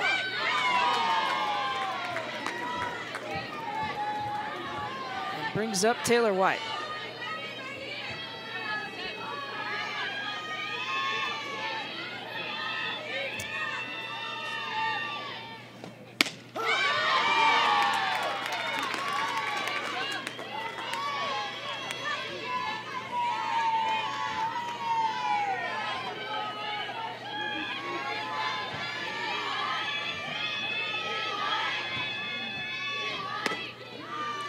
White certainly has the power to go deep, 10 home runs on the season, and she's one of these many players at Ohio State that can hit for power, hit for average, and steal bases. So a good combination of speed and power to make things happen on offense. Another K for Sara G. And that's what Sara G can do for you is throw the ball in the dirt and still get a strikeout. And that means two things. That off-speed pitch keeps Ohio State off balance, and you also got a tough catcher back there who can handle balls in the dirt. This one gets picked up by Lindaman with the backhand, tries to catch it clean and does. She continues to climb the Minnesota all-time strikeout mark. Chasing Sara Moulton. Ashley Goodwin is the next batter up for Ohio State.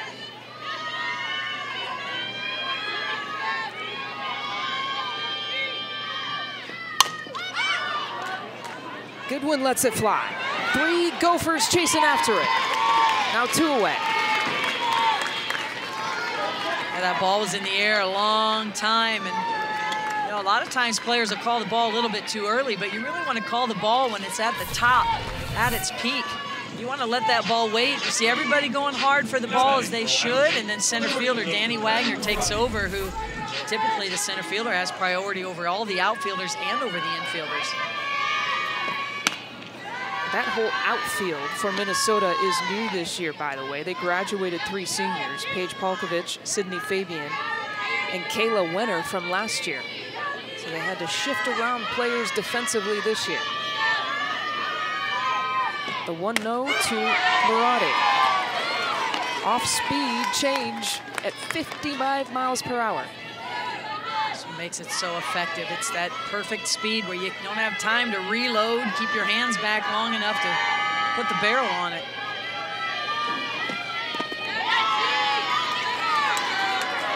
And once again, that, that pitch right there is a perfect example of why Sara Groenewegen has so many strikeouts.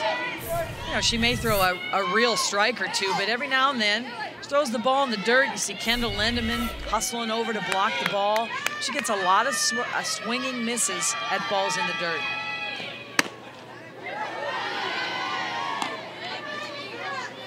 You got to have a lot of trust in your catcher to do that, especially with two strikes. You can throw the ball in the dirt. The pitcher can tell you that. If you feel like you've got a good and off-speed pitch, you want to keep it down. But if you don't trust your catcher to keep it in front, it's not going to happen. She's got a good one in Kendyl Lindaman. In fact, there's a big joke in Minnesota in who would win the battle if Kendyl Lindaman ever went to bat against Sara Groenewegen. Wouldn't we all love to see that? Who you got? I'd have to go with the senior in Groenewegen with the experience and her ability to pick the corners. Another foul tip but Lindaman knows all her pitches. Still got to hit them. I think every every team in the country knows what she's going to do. You're right. She's got the best view in the house. Kendyl Lindaman does of Sara Groenewegen and exactly what she can and can't do. But behind every great pitcher is also a great catcher. The 2-2. Another strikeout for Groenewegen. Seven on the day. Another gem for the senior. Minnesota's Golden Gophers going out in style. Dwyer and Wagner from Minnesota, the only two players with hits in this game, and yet the Gophers are leading 3-0. Yeah, you see a lot of activity up and down the lineup for Minnesota. A lot of it has to do with the pitchers of Ohio State who've had a hard time finding the strike zone.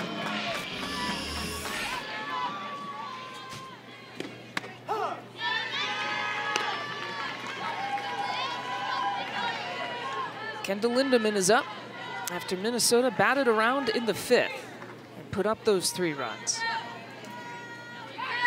Still facing Shelby Hirsch.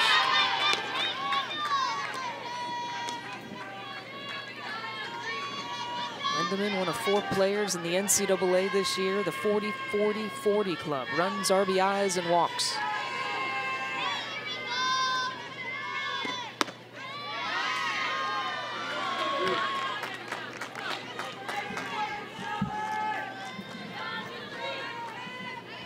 Record eight Big Ten Freshman of the Week honors this year.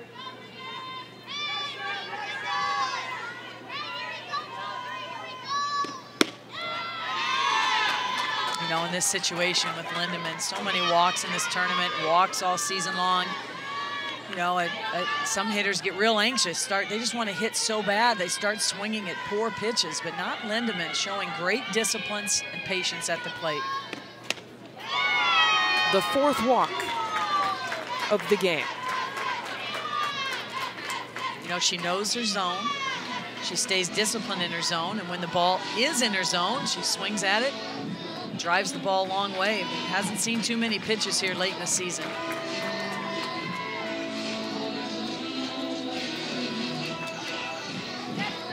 And a pinch runner from Minnesota, Kaylin Krieger.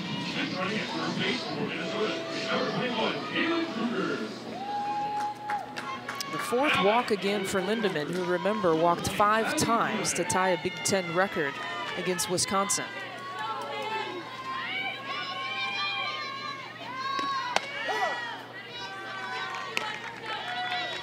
Strike call on Maddie Houlihan.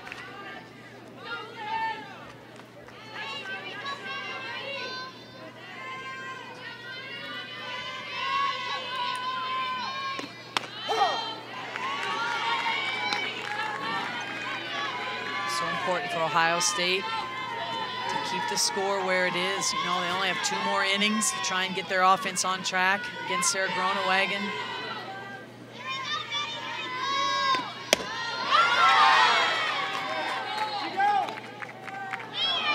It's tough to score against Groenewegen. It's tough to string hits together against Groenewegen. So you've got to keep this score within reach.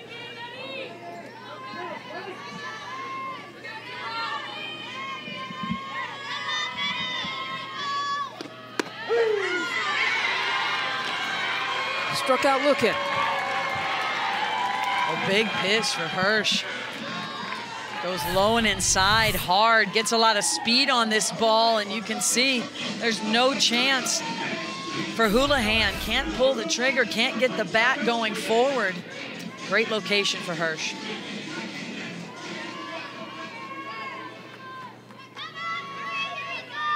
First strikeout for Shelby Hirsch.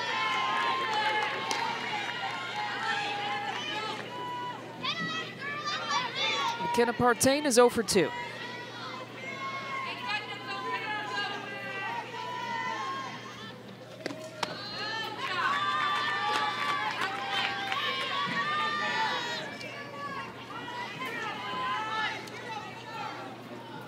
It's been a battle all game long for the Ohio State pitchers. They've fallen behind Minnesota. Partain lets it fly.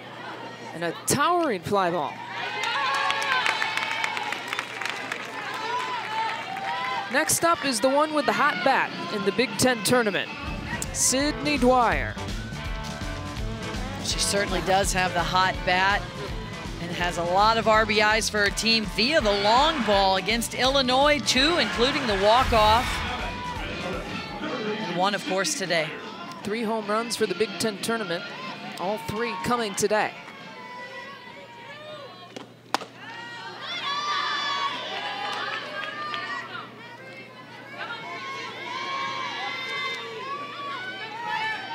two-run homer in the fifth. Gave her 76 RBIs. It's a new single-season Minnesota record. You know, we talked to her after the last game and say, why is that? Why are you able to drive so many runs in? And she said, you know, I, I actually am more relaxed when there's runners on base. I feel like they've done their job, and you can see there ahead of Kendyl Lindaman at the moment, past Shannon Beeler. I'm going to say that's going to be a race all postseason. There's no question. But here's the deal. Dwyer right now gets a few more pitches to hit than Lindaman. I think the impressive thing about Lindaman, she only has about 140 at-bats on the year. And, you know, Dwyer is sitting at almost 170, so she just gets more opportunities. If Lindaman hits any more grand slams, she'll be set. Well, that's very efficient. One swing, four RBIs. You know, Dwyer's got to work a little harder than that, but Dwyer certainly, you know, pick your poison there with Minnesota. Throw to Dwyer or Lindaman. Neither's the answer. And a walk to Dwyer.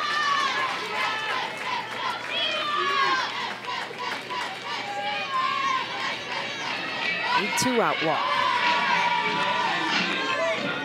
Once again, that may have been a little bit of an intentional, unintentional walk with the hot hand of Sydney Dwyer. Sara Groenewegen, not as tough in her at-bat. Certainly has found ways to get on base via the walk, but so far has not come up with the big hit for Minnesota today. Walked in her last time up. Sara Groenewegen now four walks for the tournament.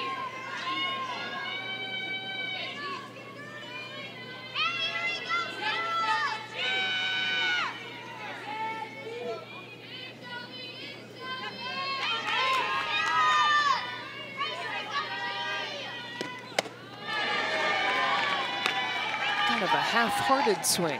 Yeah, it sure was. Just, you know, sometimes when you have those types of swings, you're thinking a little bit too much. Paralysis by analysis, you know, the time you're in the box is time to react. You do all your work in practice, and when you're in that box during a game, it's all about reacting and trusting your swing. High for the first ball to Groenewegen. Big Ten championship game under the lights at Alumni Field. Minnesota with a 3-0 edge in the sixth.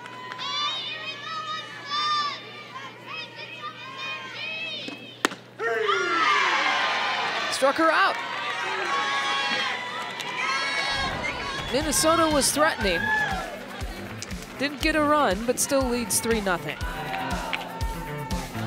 Softball on BTN is brought to you by Tire Pros. Take the hassle out of tire buying. Find your dealer today at tirepros.com. Heading to the bottom of the sixth. Sara Groenewegen well in control of this one. And chasing Sara Moulton, two away from tying the all-time strikeout mark in Minnesota history. She has put her pitching coach, you saw Piper Martin, she's Piper Ritter now, she's put her far away in her rearview mirror. And I don't think uh, Coach Ritter cares at all. Happy to see her, uh, both her students there really, both of her pitchers she's helped develop throughout their careers. Becca Gavin at the plate.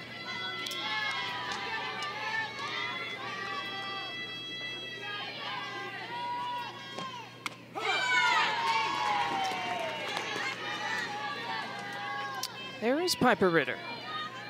Minnesota pitching coach, as you mentioned, had the opportunity to coach both Sarahs, Moulton and Groenewegen.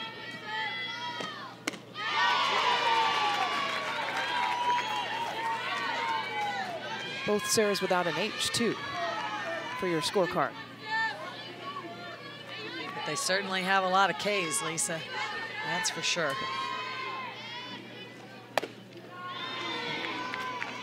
Just so efficient is Groenewegen. You know, she's got a full count here to Gavin, but that's rare occurrence. Rarely does she even get to three balls. Just moves the ball through the strike zone, attacks hitters, does not allow many free passes. Strikeout number eight, and she is one off of tying the record.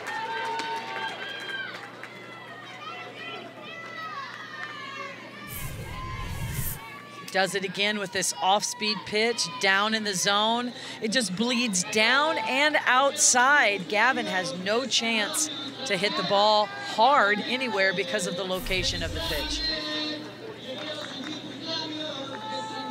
Alex Vargas will get another shot with the bat in her hand.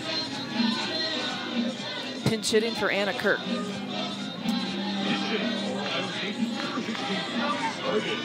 Why not? Coach Kovach Schoenly turning to her bench to try and get some offense generated here against Groenewegen. Who's only given up one hit the entire Big Ten tournament.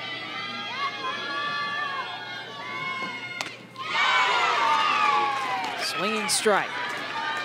Again, none of these Ohio State batters have ever faced Sara Groenewegen in her career. It's tough to face her if you've seen her 10 times, let alone the first time.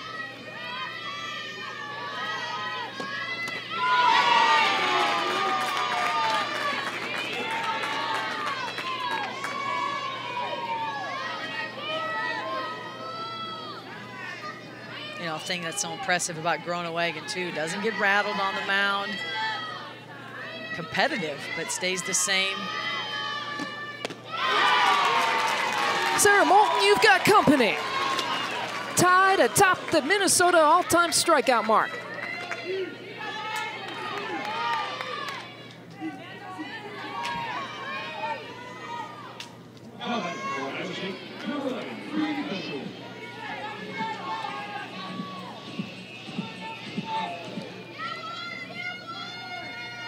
Brings up the top of the order, Bree Betchel.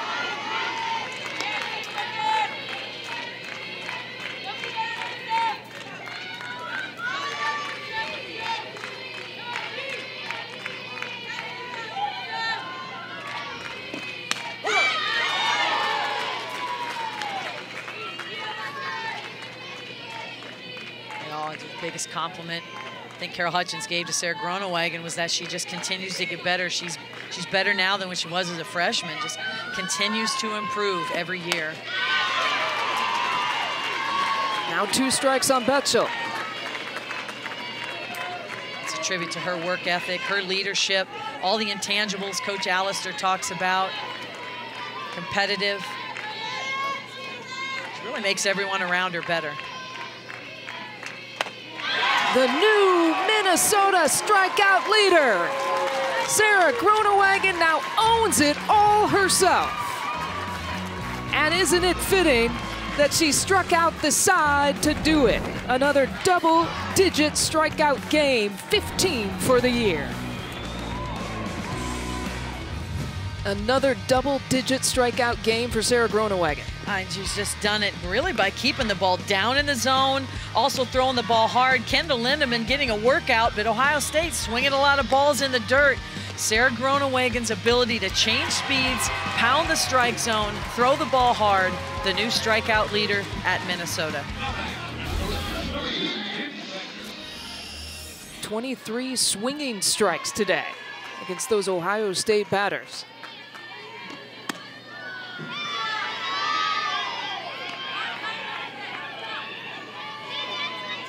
Big Ten tournament showing of three games. One hit given up, 15 innings pitched, and 22 total Ks.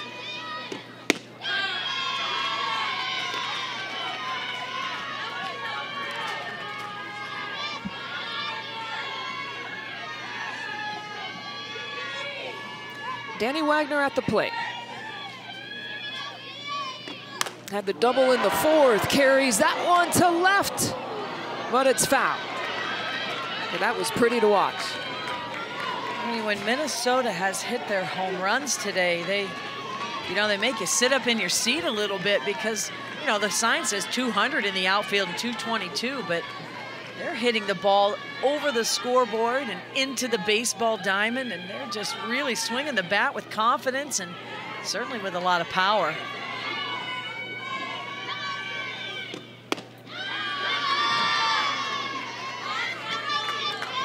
A Gopher team that is looking for three of four tournament championships.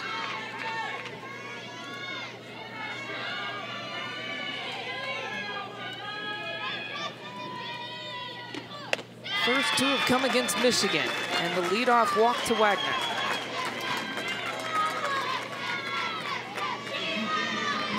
That's the expectation now. And once you learn how to win one championship, you won more. You know what it feels like. You know what it takes. It takes good pitching in the circle, good defense. It takes timely hitting. Certainly Minnesota's been able to do that over the past four years, and especially this season.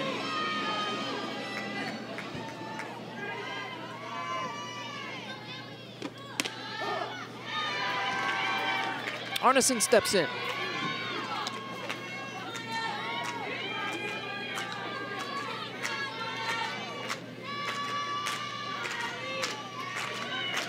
In her last couple of at-bats. 0-1.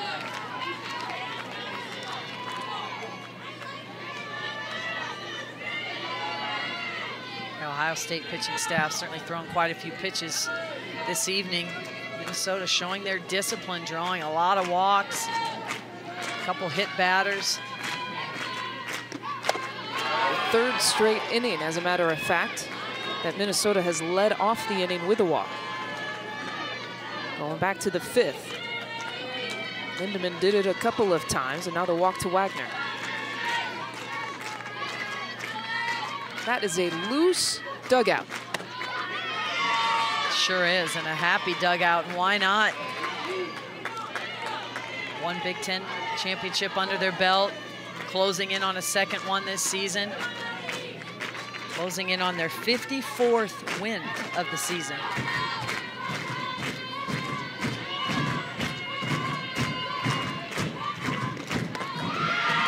Back-to-back walks. Minnesota opened the year with a 19-game win streak. Now 124 straight. And we might have another pitching change coming up.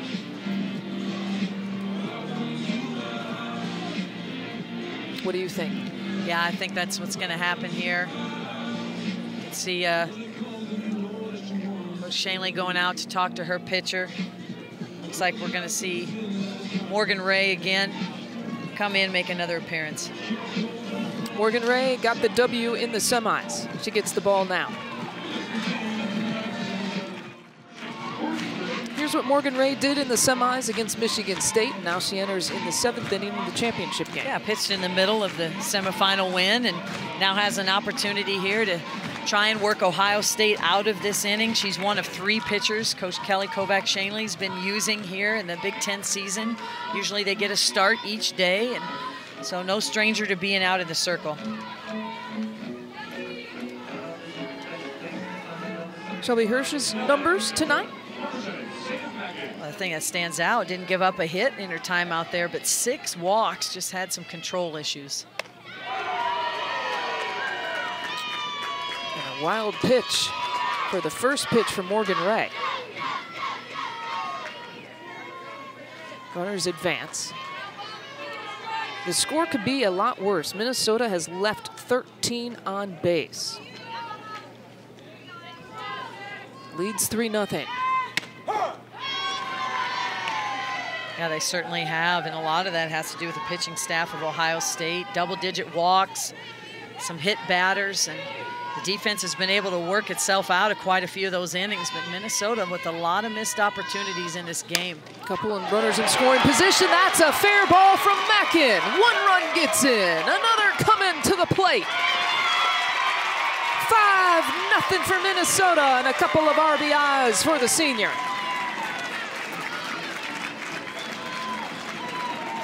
Well, this ball has eyes for Sam Mackin, and that's where these two leadoff walks will come back to haunt Ohio State. Reaches for the ball. It's a low outside pitch, but gets enough of the barrel on it to get it past Kirk, and yet inside the bag, you see wisely there Wagner's in foul territory. So if she does get hit by the ball, she's not out. Arneson scores as well. The first hit for Minnesota with runners in scoring position in this game, if you can believe it.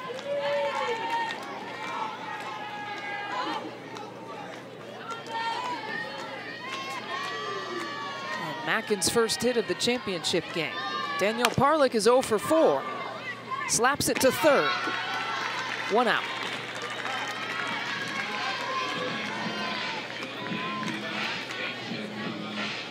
That keeps Mackin at second base by having the ball hit on that side of the field, and Kirk checks Mackin, no advancement there. You want to have a productive out, not a productive out by Parlick. Mackin still at second base.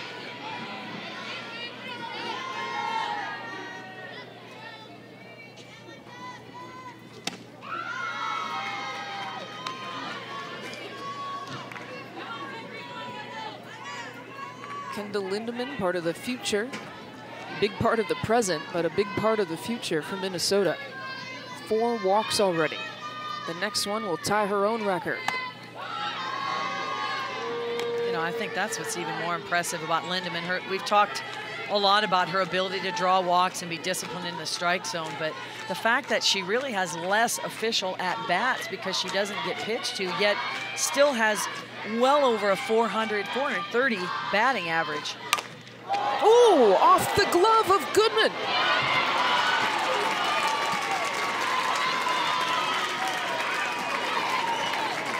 Saved a run. Ricocheted off of Goodwin's glove. Man, did Lindaman got a hold of that one. Certainly did. We talked about the ball sounding different coming off the bat. Lindaman barrels that one up, hits it so hard. Goodwin just can't quite come up with it. You see Mackin thinks about scoring, but holds up, no chance. Clark picks it up very quickly. A hit for Lindaman, her third of the tournament. Runners now at the corners, with Mackin advancing over to third.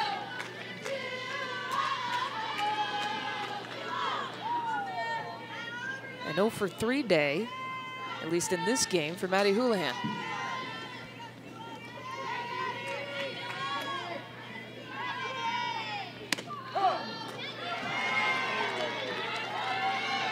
Minnesota with another opportunity to add to this lead.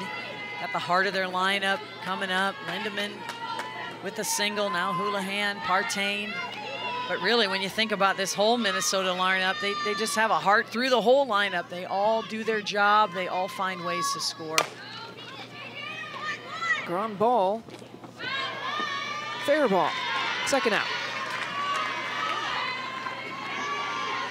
A smart play there by Anna Kirk to get that ball before it goes foul. That may have ended up foul. And then you got a pitch to Partain again. So any out you can get against Minnesota, you see this ball, she steps up so she can feel the ball in fair territory. Even though she had one foot in foul territory, it's where the ball is.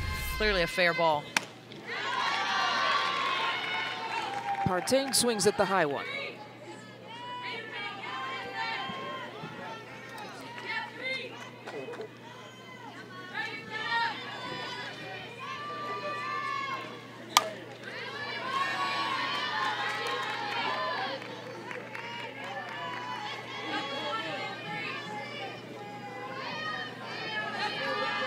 For 3 for Partain.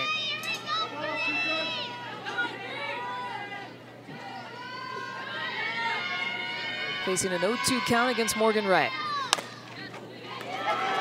Ground ball, backhander, no play by Clark, and another run scores. Mackin is in to make it 6 nothing. We see Minnesota do it with the short game, bunts and slaps. We see him do it with the long ball and home runs. And how about just a base hit up the middle by Partain? Clark hustles over and tries to catch Lindaman. You see Mackin scores easy after hitting the double. They just can score in a variety of ways, and they keep attacking. One through nine in the lineup.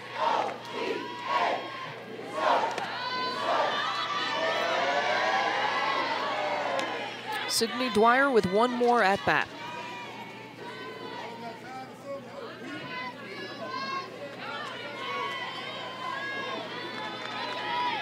Three home runs today. Two in the semis. And one here in the fifth.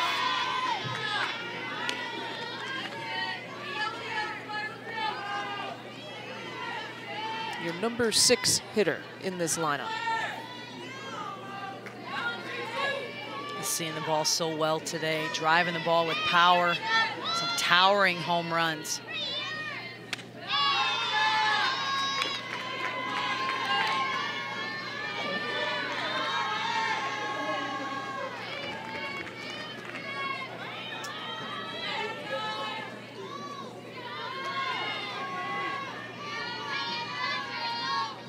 The 3-0 and a four-pitch walk. Loads the bases. Yeah, it's tough to win any game your pitching staff's giving up double-digit walks. Very uncharacteristically high number for the entire Ohio State staff. And that just allows a great hitting lineup, third in the country in batting averages, Minnesota, just more opportunities to score. That's why Ohio State finds themselves down six runs. First pitch strike to Groenewegen.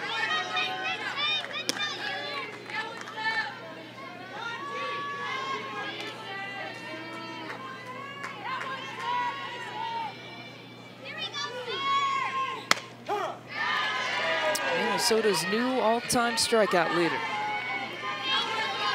Trying to avoid the strikeout herself.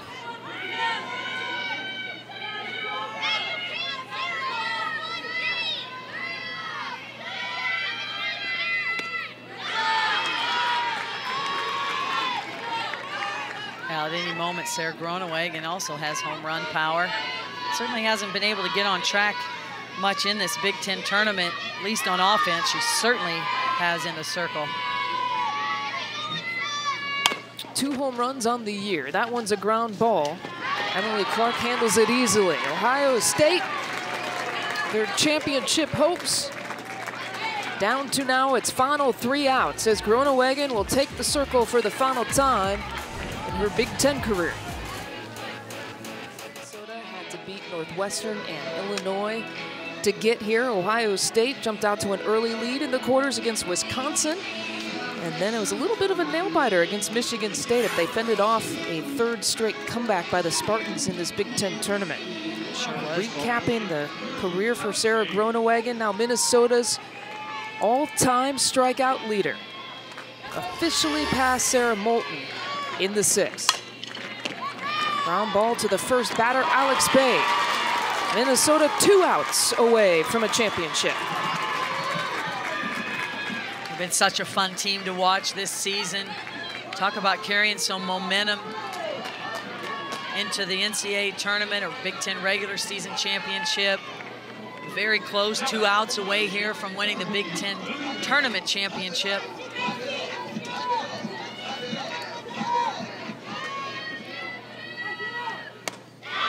Jessica Allister said we felt like we were good enough we could beat anyone in the previous years, but we also felt like we had to be perfect. We don't feel like we have to be perfect this year.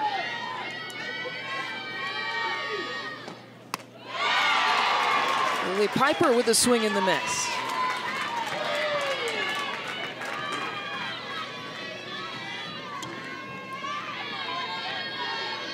They talk a lot about playing with intensity, but also intent.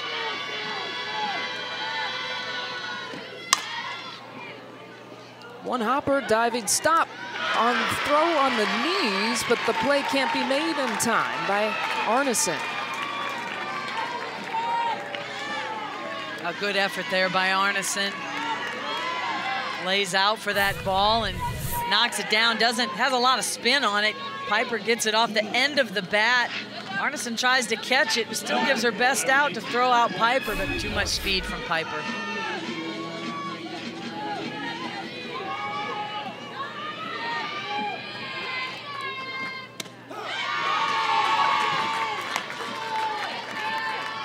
And the second hit against Sara Groenewegen given to Piper.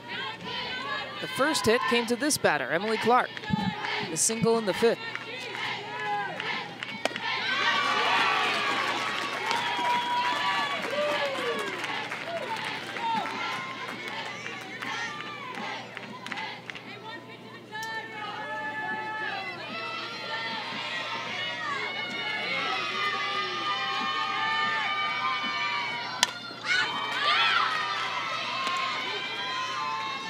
Sara Groenewegen finds herself ahead in the count. It's a place that she has lived her entire career.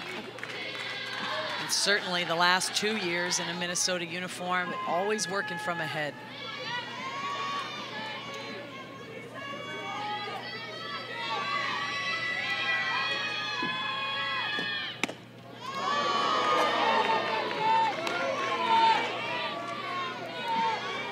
You know, doesn't let the weather affect her, doesn't let the uh, strike zone affect her, defense affect her. She just does her thing, does it to the best of her abilities, and focuses one pitch at a time.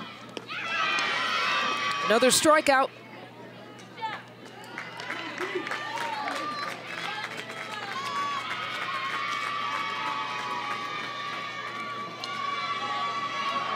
Yeah, the runner first base, Clark, is out. No drop third strike.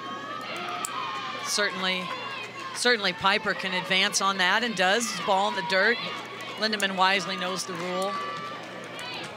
Able to drop third strike unless their first base is occupied. It was occupied, so Clark is out, but Piper advances on the ball in the dirt. And so now it comes down to Taylor White. Off the glove of Lindaman. And Piper moving all the way over to third.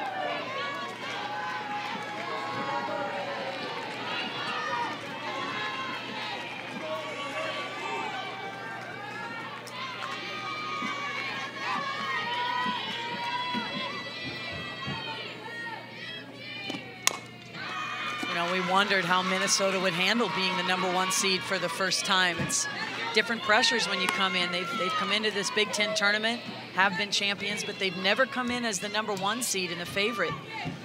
They certainly have handled it very well.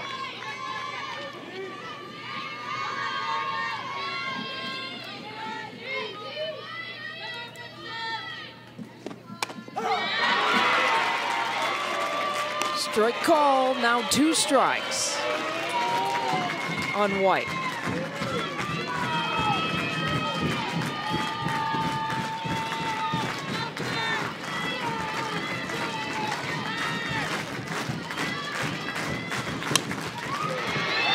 Is she still alive?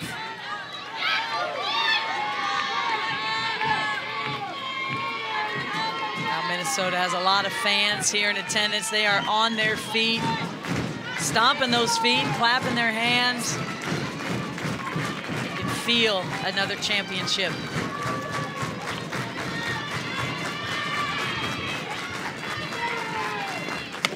Groenewegen ends it her way. Minnesota is the best in the Big Ten in 2017.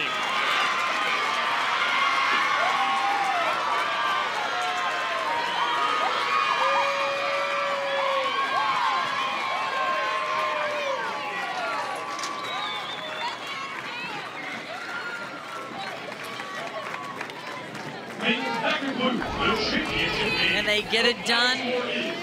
Fitting way to end on a Sara Groenewegen strikeout. The offense puts up a lot of runs on the board. All Minnesota knows how to do this season is win.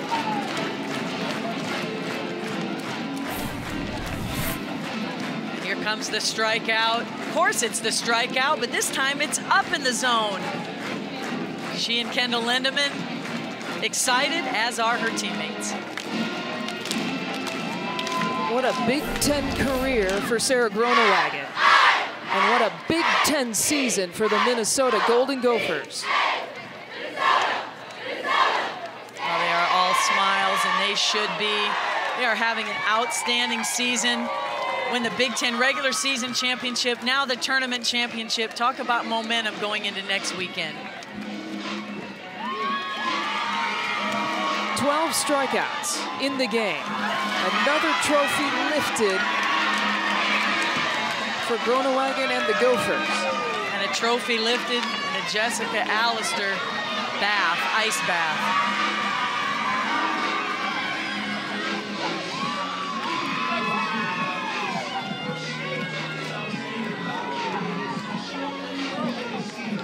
This senior class of Sam Mackin and Sara Groenewegen. They inherited Tori Finucane, the transfer from Missouri, but Mackin and Groenewegen won three of the four Big Ten tournament championships. Just so impressed with what Coach Allister and her entire team has been able to do. So let's bring in the championship head coach. Jessica Allister, what impressed you about this tournament run the most? There's a lot of different things, you know. Um, obviously, we found a couple different ways to win. The Northwestern game was hard. Um, it was ugly, but we kept going. Um, you know, we stuck with it earlier today um, against Illinois, who's a good team, and then today just sticking with it against good pitchers. Sydney Dwyer coming up with big hit after big hit. Um, Kendyl Lindaman being patient, taking her um, taking her walks and coming up with big hits as well. And then um, Sara Groenewegen was just unbelievable. I mean, Ohio State, that's a good hitting team, um, and she was she was great today. Coach, two-part question. First, I want to know how that championship ice bath felt. And secondly, why has this team, Wonderful. and especially, especially that senior class, been able to win so many championships? And uh, we're getting a good look at it. You can't see it right now, Jess, but we got a good look at it. It did feel wonderful, I'm sure, on the ice bath. But Yes. what, what, what's so special about this team and their ability to keep winning and winning championships? Well, I think they believe they're going to win. I think every time we step onto the field, we believe we're going to win. Um, and you know, we got a couple different ways to do it, and um, we've won in a million different ways. But uh, they're tough. Um, they love each other, um, and, and they're competitive and they're good. So um, it's it's been wonderful. You have three seniors, and you inherited Tori from Finucane, or really the transfer from Missouri. I want you to specifically talk about Sam Mackin and Sara Groenewegen. Now, as freshmen, they won a Big Ten tournament championship, and now they've won three in their career. How have they helped to establish a winning culture under your tutelage? Well, they're just competitive.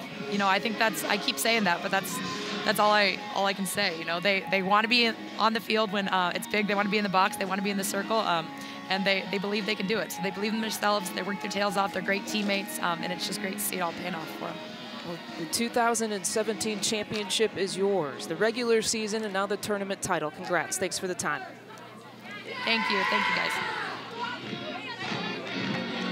T-shirts are on and the championship hats are on. And the selfies are out. Can they get everyone in there? Well, I think they're missing two people right there. Their, their star pitcher, Sara Groenewegen and Jess Allister. I'm sure they'll find a way in some of those pictures.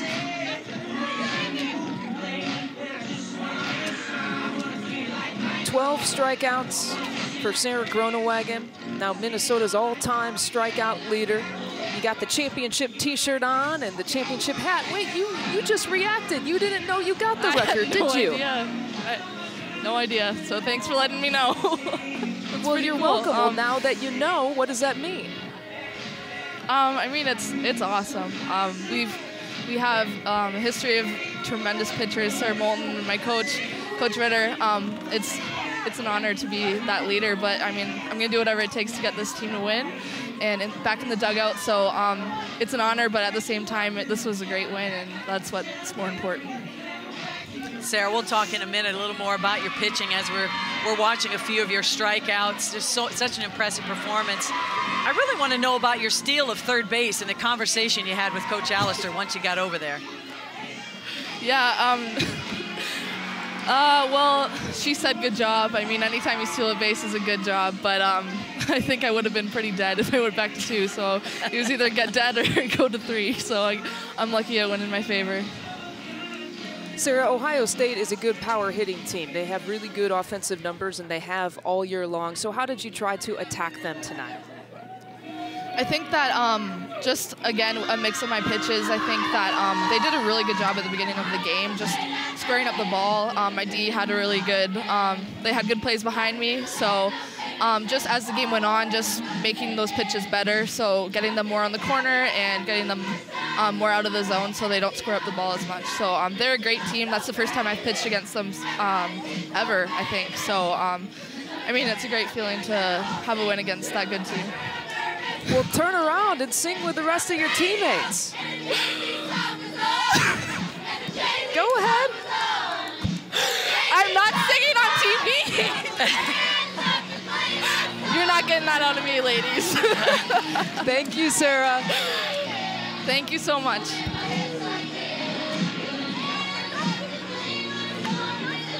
They enjoy each other, you can tell. Oh, you know, it's always fun to win. There she goes. Now she's jumping in. And uh, it's always fun to win. It's even more fun to win a championship. Minnesota deserves all the smiles. One final player to talk to. We talked to the head coach, the star pitcher. and the hot hitter for this tournament, Sydney Dwyer. Sydney, what were you seeing at the plate, and especially today in the semifinals and the finals?